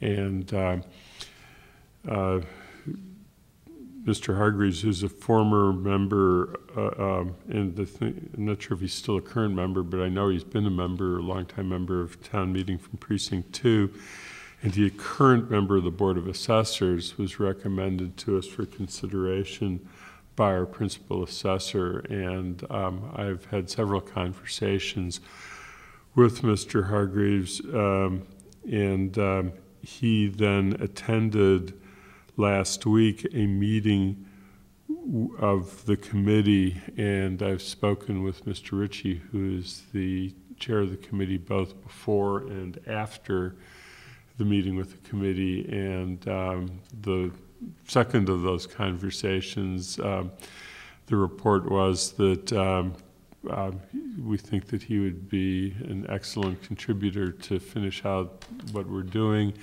and um, they actually have taken steps already to adjust their work schedule and meeting schedule to coincide with his vacation plans. And if you followed the um, meeting notices and saw that they canceled some meetings and added some meetings, that was as a result of the follow-up to this meeting. Um, and uh, the last thing that I wanted to just remind you all of is that in November of 17, we appointed um, Mr. Hargreaves to the Board of Assessors after reviewing his citizens activity form. Um, he did not, not, we did not request a new CAF because the information is basically the same as was provided on the prior CAF. So um, that's the background that um, I wanted to report to you in support of the motion that I've already made. I just want to follow up to say that I know a number of us did specifically recruit women to this seat, and we appreciate Mr. Creef serving, as well as the other two gentlemen who are already serving.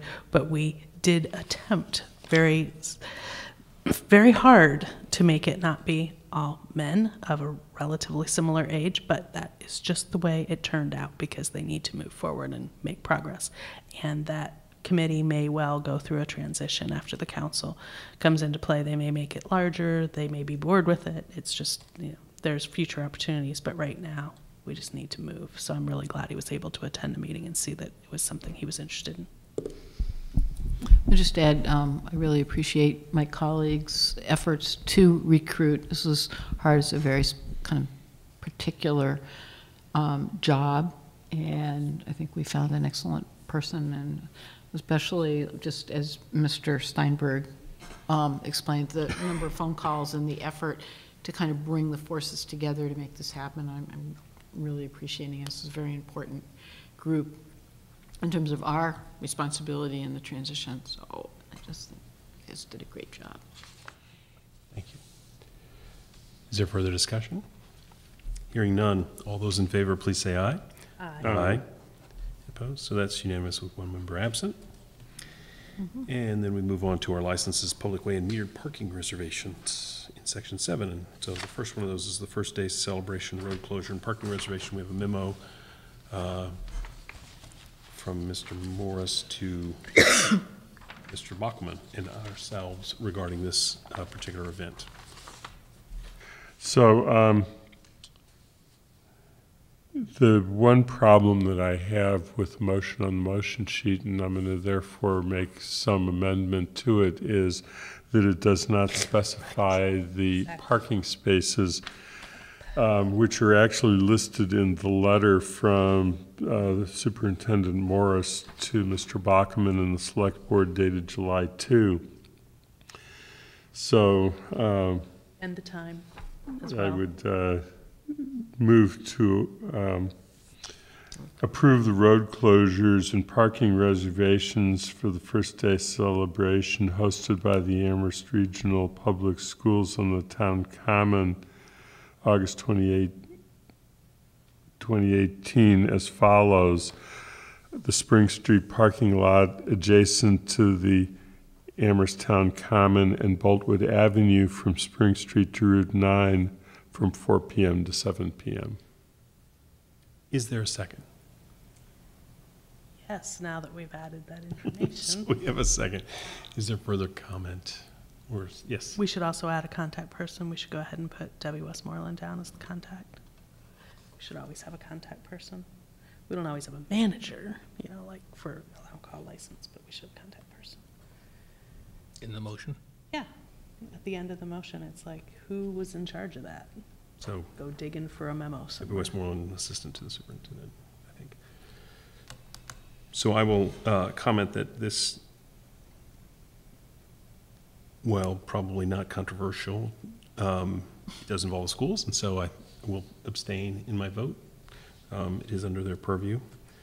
Um, And so, is there other- further discussion? If not, all those in favor, please say aye. All right. And Mr. Wald is absent, and I am abstaining. And so that's three to zero, three to 3011. three zero one one. So, so now we have two items on our consent calendar remaining. Yes. So I would uh, move to approve items B1 and B2 from the consent calendar for July 9, 2018 agenda as presented. Second. Is there further discussion? Ms. Brewer, you look like you have a comment. Oh, I'm just making sure that the consent calendar doesn't include the thing we already did. So it stops at No, he took it BIF. out. He Yeah. was very careful, and he took it out. Yes. All those in favor, please say aye. Aye. Aye. And one absent. And Mr. Wald. So now I believe we're to that town manager's report.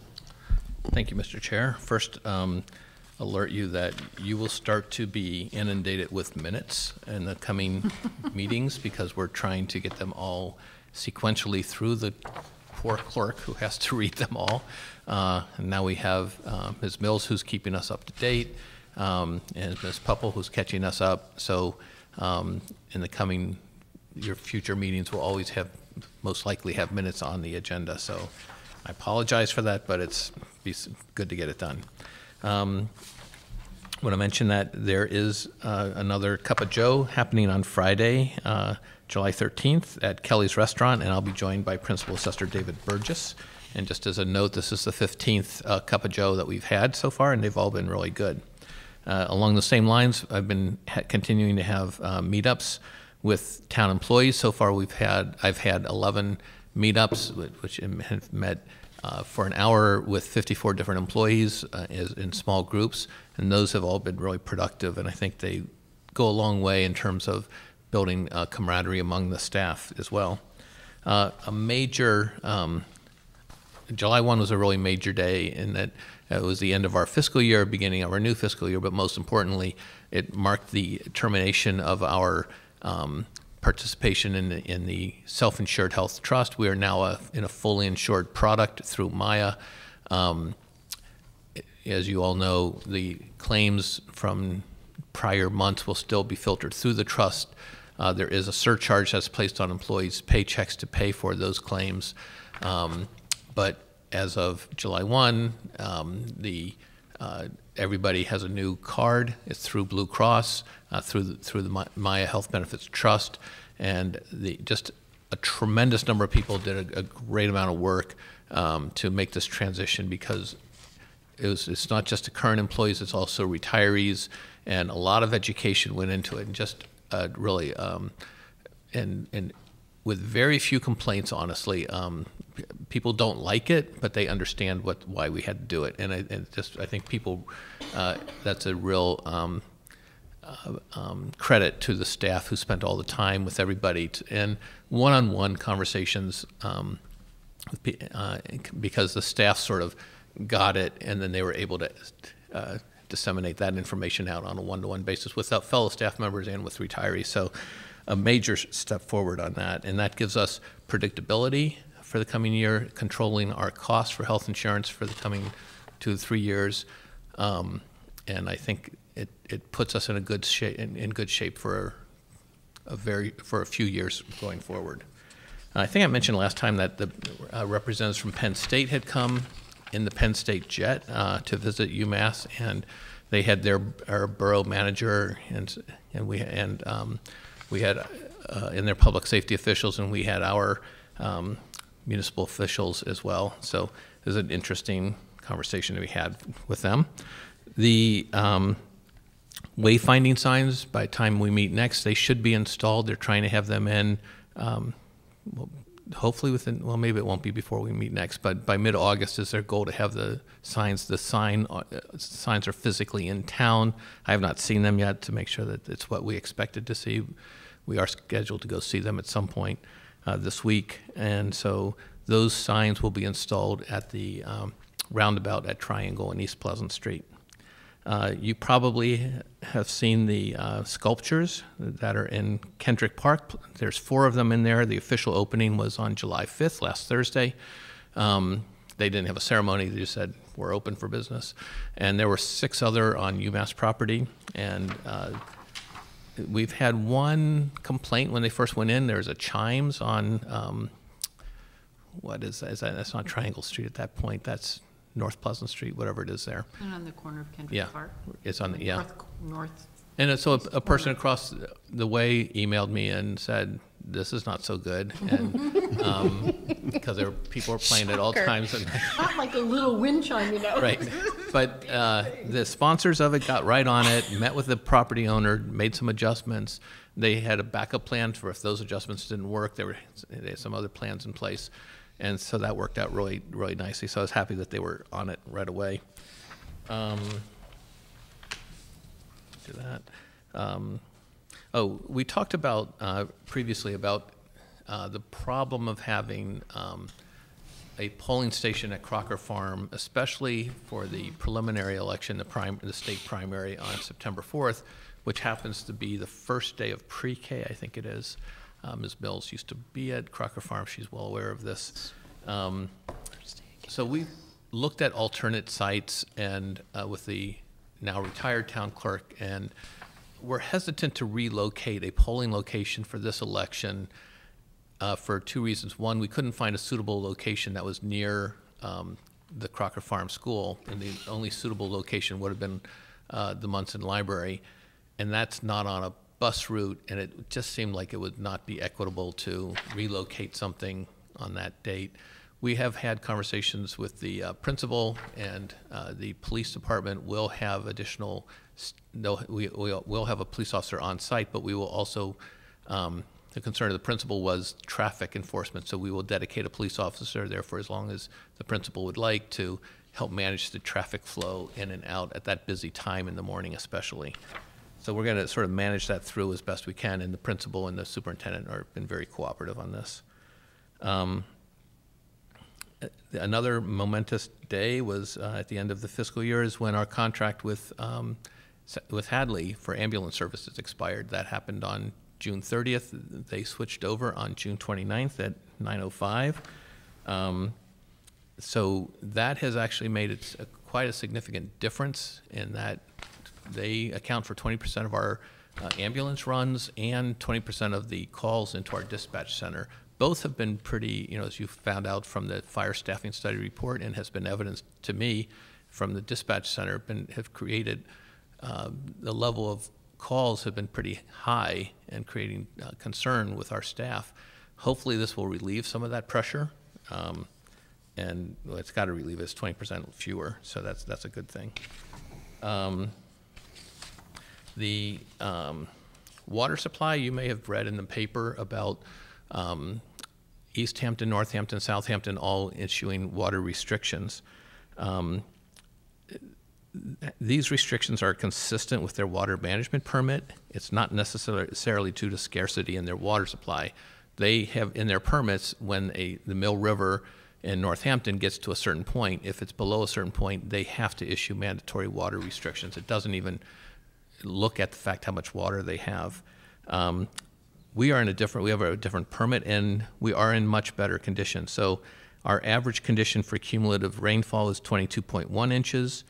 During that 2016 drought year, at the same moment in time on July 1, we had 15.1 inches. Today, on July 1, we had 24 inches of rain. So we have higher than average rainfall. The daily water demand is an average about 2.5 million gallons per day. Uh, in the 2016 drought conditions is 3.4 million gallons per day. And then today, on July 1, we, we're still we're, we're back to 2.5 million gallons per day.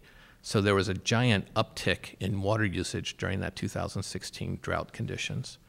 And as we look at Atkins Reservoir, um, its average condition is 1.1 feet below its maximum level. During the drought conditions, it was 3.4 feet below its maximum level. And today, it's overflowing. It's at 0.0. Uh, we're not even pulling water from Atkins Reservoir at this point. So we have plenty of water at this point. We'll continue to monitor it. Um, the driving force is always rain and um, water usage, and if we see any change in water usage, we note it. Um, one way we've identified that is um, is is water being drawn down uh, at UMass that they noticed there was a water break in one of their dormitories that somebody had had installed something that just and the water line burst and our tank started going down. It didn't get to dangerous levels, but it didn't. So it didn't set off alarms. But people noticed the sudden drop in the tank. So it was really um, people are the staff are paying close attention to those things. Um, what else? Uh, you should be expecting to see a lot of paving coming forward. Um, the Amherst Woods work continues. The major roads that will be paved this year are East Pleasant Street between Clark Hill Road and Eastman Lane, Southeast Street between Colonial Village and Middle Street, Main Street between Boltwood Avenue and Dickinson Street, North Pleasant Street between North Village Drive and Fisher Street, West Bay Road between Goldway and Spencer Drive, Webster Street between Main Street and Spring Street, Churchill Street between Main Street and Spring Street, those are two little streets. Cole, Coles Lane, which is the one downtown between North uh, Pleasant Street and, North Prospect Street, and then South Prospect Street between Amity Street and Gaylord Street. So those are the major um, road projects that we're funding through our um, pavement money that we have this year. Those are all being contracted out. Uh, When they get paved, they'd also include sidewalk work and aff- uh, affiliated sidewalk work uh, along as, as the um, engineers have designed it.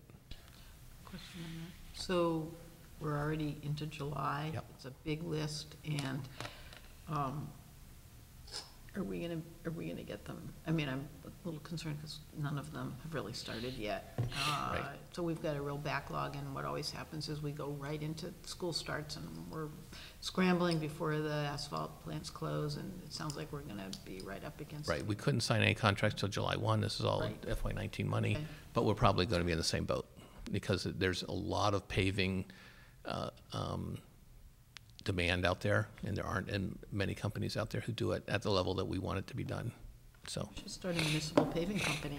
yeah, well, yeah, or marijuana, whatever you want. Um, Right? We- Can't, we- we can't mix those, I don't think. The streets with the- the residues or. Yeah. I do want to notify you that we received a notice of noncompliance for violation of our air quality permit for the landfill. Uh, Apparently, the landfill gas had been routed to the gas flare, um, and, but the flare didn't ignite.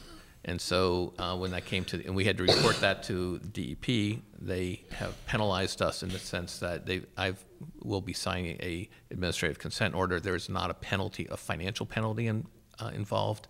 We do, we're gonna make im- improvements to the flare, and the flare can't be operated without someone there watching it. Our system is not, is one that where the, the gas builds up relatively slowly, so we can do it on a manual basis. Um, So, uh, there, if there were to be fines, if we fail to comply with the new system, then we'll be subject to fines. The Manager's out there with one of those barbecue lighters.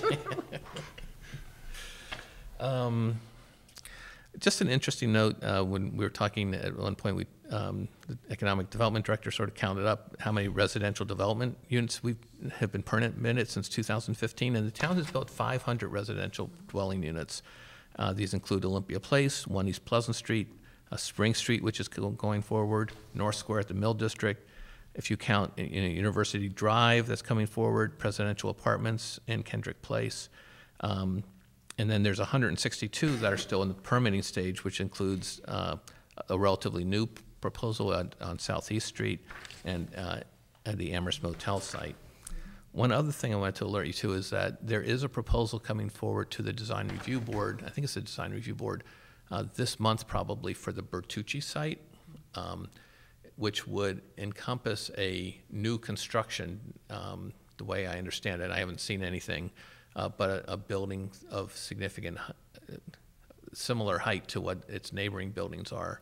Uh, and then it'd be a two-stage thing, one for the Bertucci site and one for the, where the spoke is. So there'll be some development down at that area where people are looking to uh, leverage the um, low density of that property. And uh, so we will see more about that when they come to design review in a couple weeks. Um, we had tagged this Berkshire Gas uh, rate change as something to pay attention to, and last time I thought it was June 11th, but it wasn't. It's July 11th, and Greenfield is their public hearing. We have written to some people about this, um, wondering why they're getting a rate height increase hike when they're not providing more gas, and we it's the lack of gas is the uh, moratorium on gas is really hurting our businesses. Um, let's see. We had a debrief meeting with Craig's Doors. Um, interesting that uh, we've instituted a meeting with the staff and the trustees of Craig's Doors, which has been really beneficial, I think.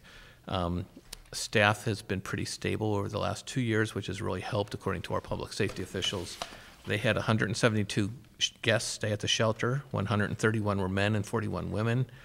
Uh, 18% were under 25 years of age, and 47% were older than 50. and 22% were reported to be of Latino descent, and this is information that they typically gather on their guests. Um, The issue for them is always funding, and going forward, they're looking at uh, securing more stable uh, funding, and also next year, they will need to renew their permit through the State Building Commission. Um, I'm not, su- I know some board members went to the Independence Day fireworks um, held at McGuirk, outside McGuirk Stadium. Tremendous organizational effort, and it's, it's gotten bigger over, over time by our LSSE staff. They put a lot of effort in, and we really want to thank the University of Massachusetts um, for being so cooperative. They provide all kinds of physical plant support and um, public safety support. Um, it's one of those things that they do for the town and for the whole region that doesn't get recognized very often, but we always recognize it um, ourselves. But um, it is a nice gesture on their part um, for our communities. Because people really like the fireworks. We have we get lots of people there, even if you wind up coughing your way out of it, as some people did. Um, the, uh, the chair spoke at two Valley bike launches on June 29th, uh, one in Northampton and one here. We had one in, in here, which was I, really incredible because uh, Ms. Brewer and Mr. Slaughter met with some middle school students who had come up with the idea of having a bike share, and then not a month later, they were cutting the ribbon to announce the the uh, Valley Bike Share. It was really a, a terrific event. Um, we are, uh, in terms of the dog park, we're, we are expecting positive news on a grant application to the Stanton Foundation for design money.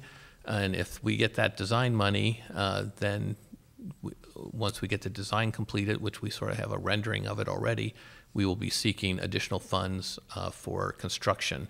So that's all going uh, according to the, we, the plan we had hoped. And so that's, it's really, um, a really good thing. And I really do have to give tribute to Dave Ziomek, our assistant town manager, who, um, when they read the proposal and reviewed it, said it was one of the best proposals they'd ever seen come in for, and most developed, most thought out, most comprehensive, most community involvement. Uh, very impressed by the whole process. So uh, Mr. Pistrang and Mr. Ziomek deserve, a lot of credit for that. Um, let's see. I would want to mention that uh, credit to the finance department for we and they closed out they're closing out the FY18 fiscal year and launching FY19 where that's where in that one period where you have to decide where you're going to pay your bills which is come still a FY18 bill or FY19 bill uh, they're moving forward the finance committee had its final meeting last Thursday I think it was um, they voted for the FY18 budget they voted to transfer funds out to cover the snow and ice deficit which is typically what happens. We, they hold on to it until they know they don't use it. They also transferred uh, funds um, to cover any kind of expenses we're going to have without fitting this room. They saw that, uh, they, they understood purposely that we did not budget for that this year because not knowing what the outcome of the election was going to be. Uh, so they've transferred funds uh, into the town hall budget in order for us to take the steps necessary to create a space for the council to meet, and they were comfortable with that. Um, And so, and then the, the last thing is just we, on June 20th, we had our employee, town employee picnic.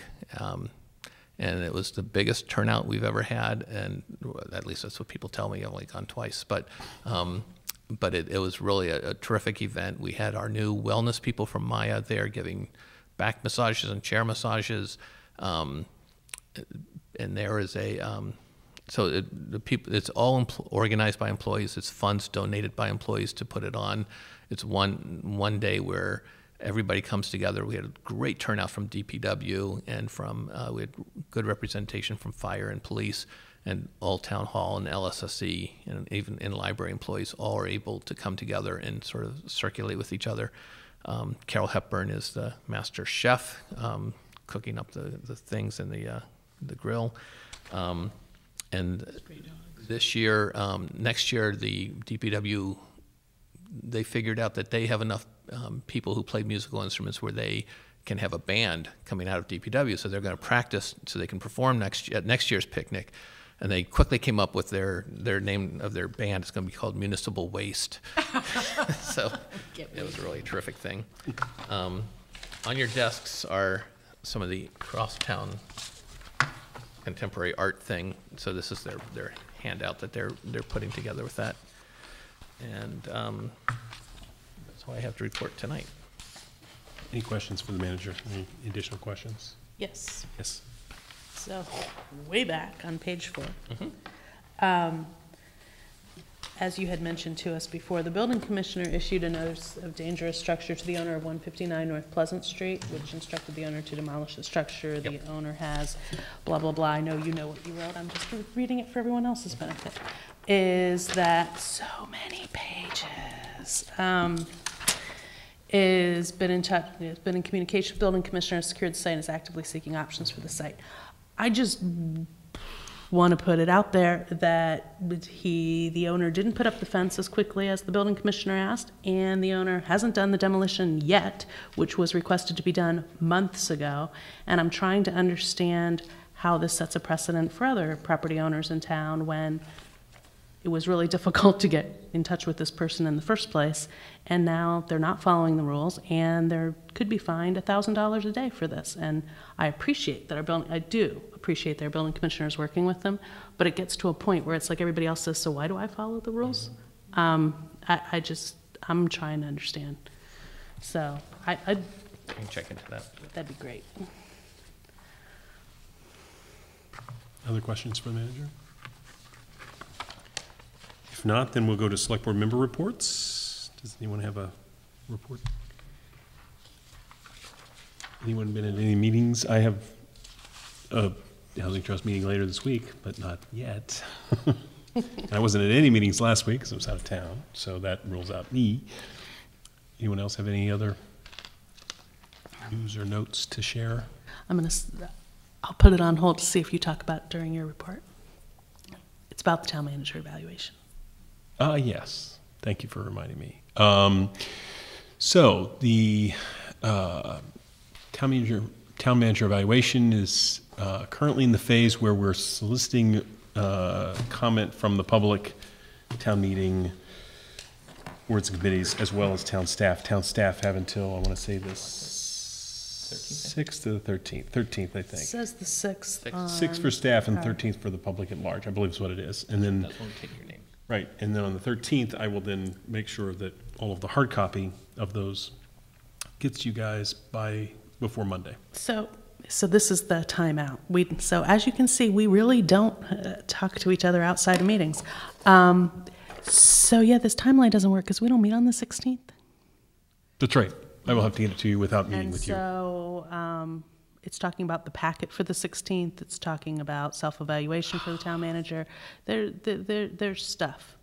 So you're going to want to revise that? Yes. And, and basically just push the things that needed to happen to the 23rd.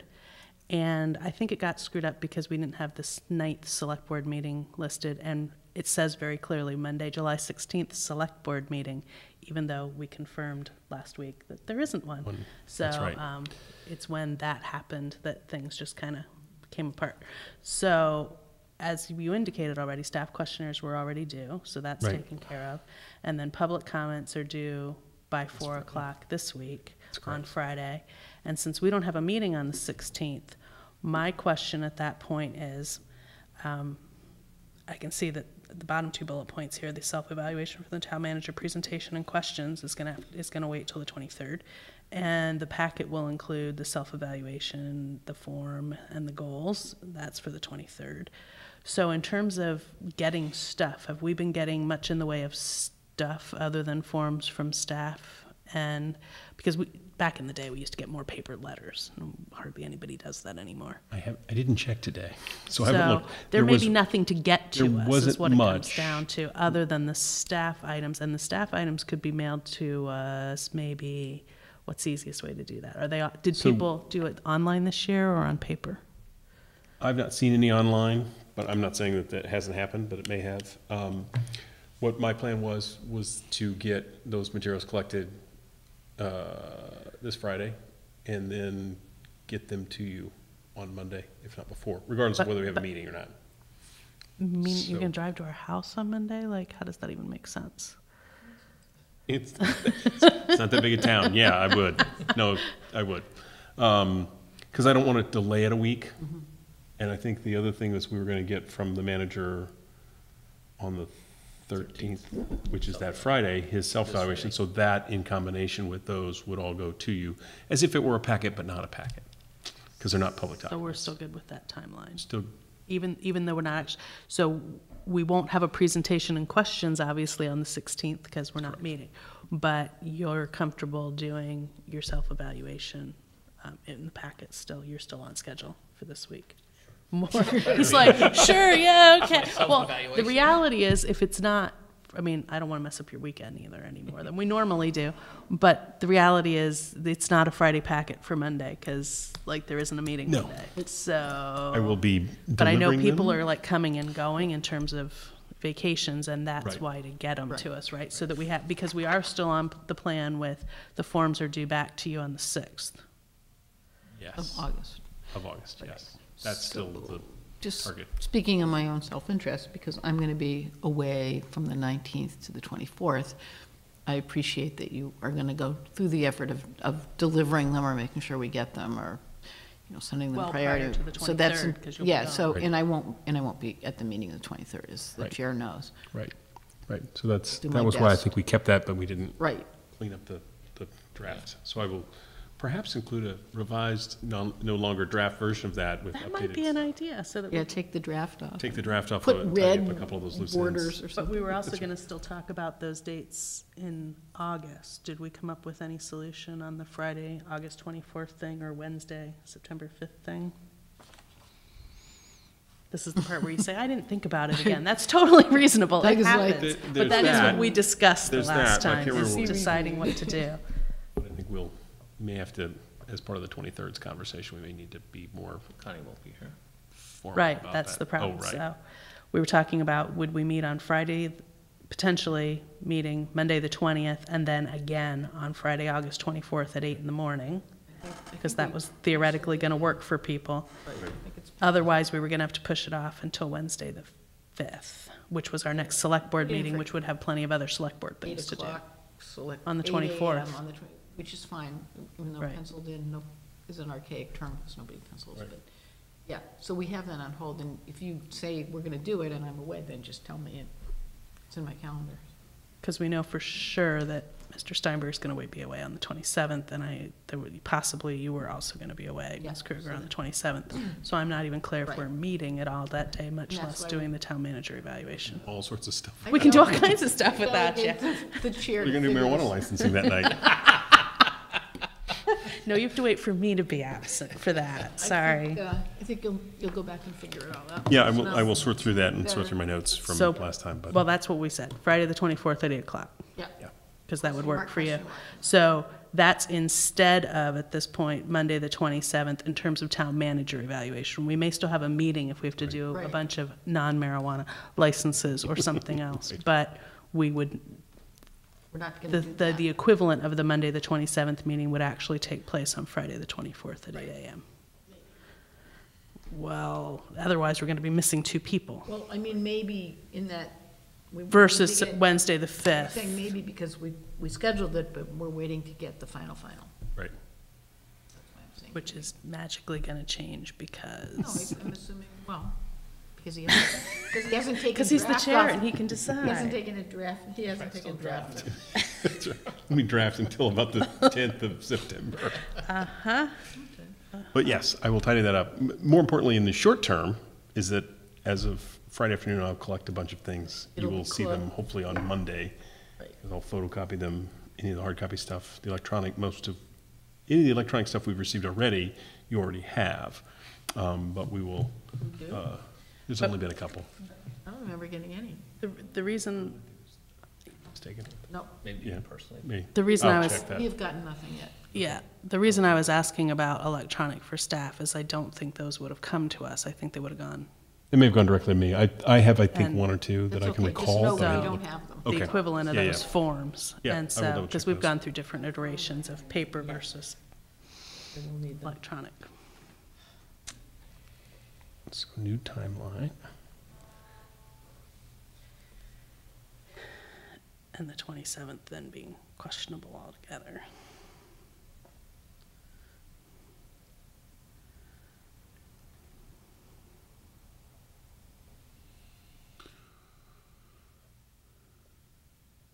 Uh,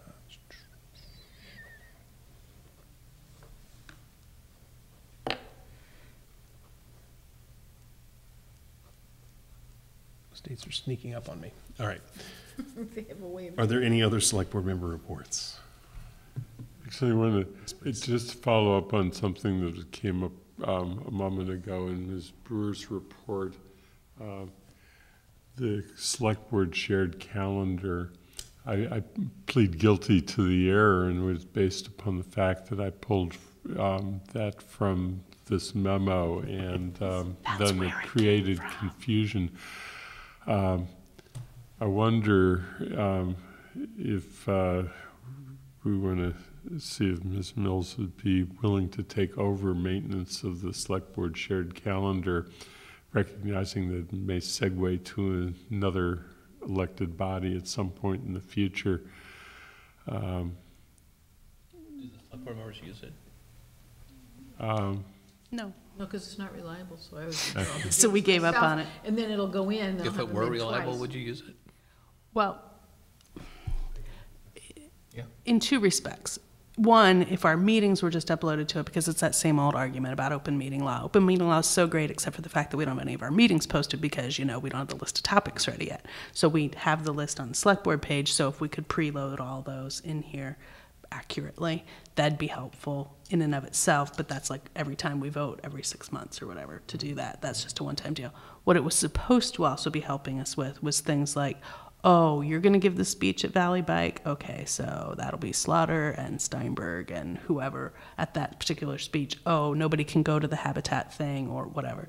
We can't really expect Ms. Mills So be Oh, that we for cannot, us. and that, that we have So- not effectively done But if she would be willing to just accurately We load never in kept it up meetings, that'd We did probably be not, we did awesome. not exercise that part of it. That was the intent It was a originally. theory. And then Ms. Brewer so will this is- write to us and. So just have the board meetings on it?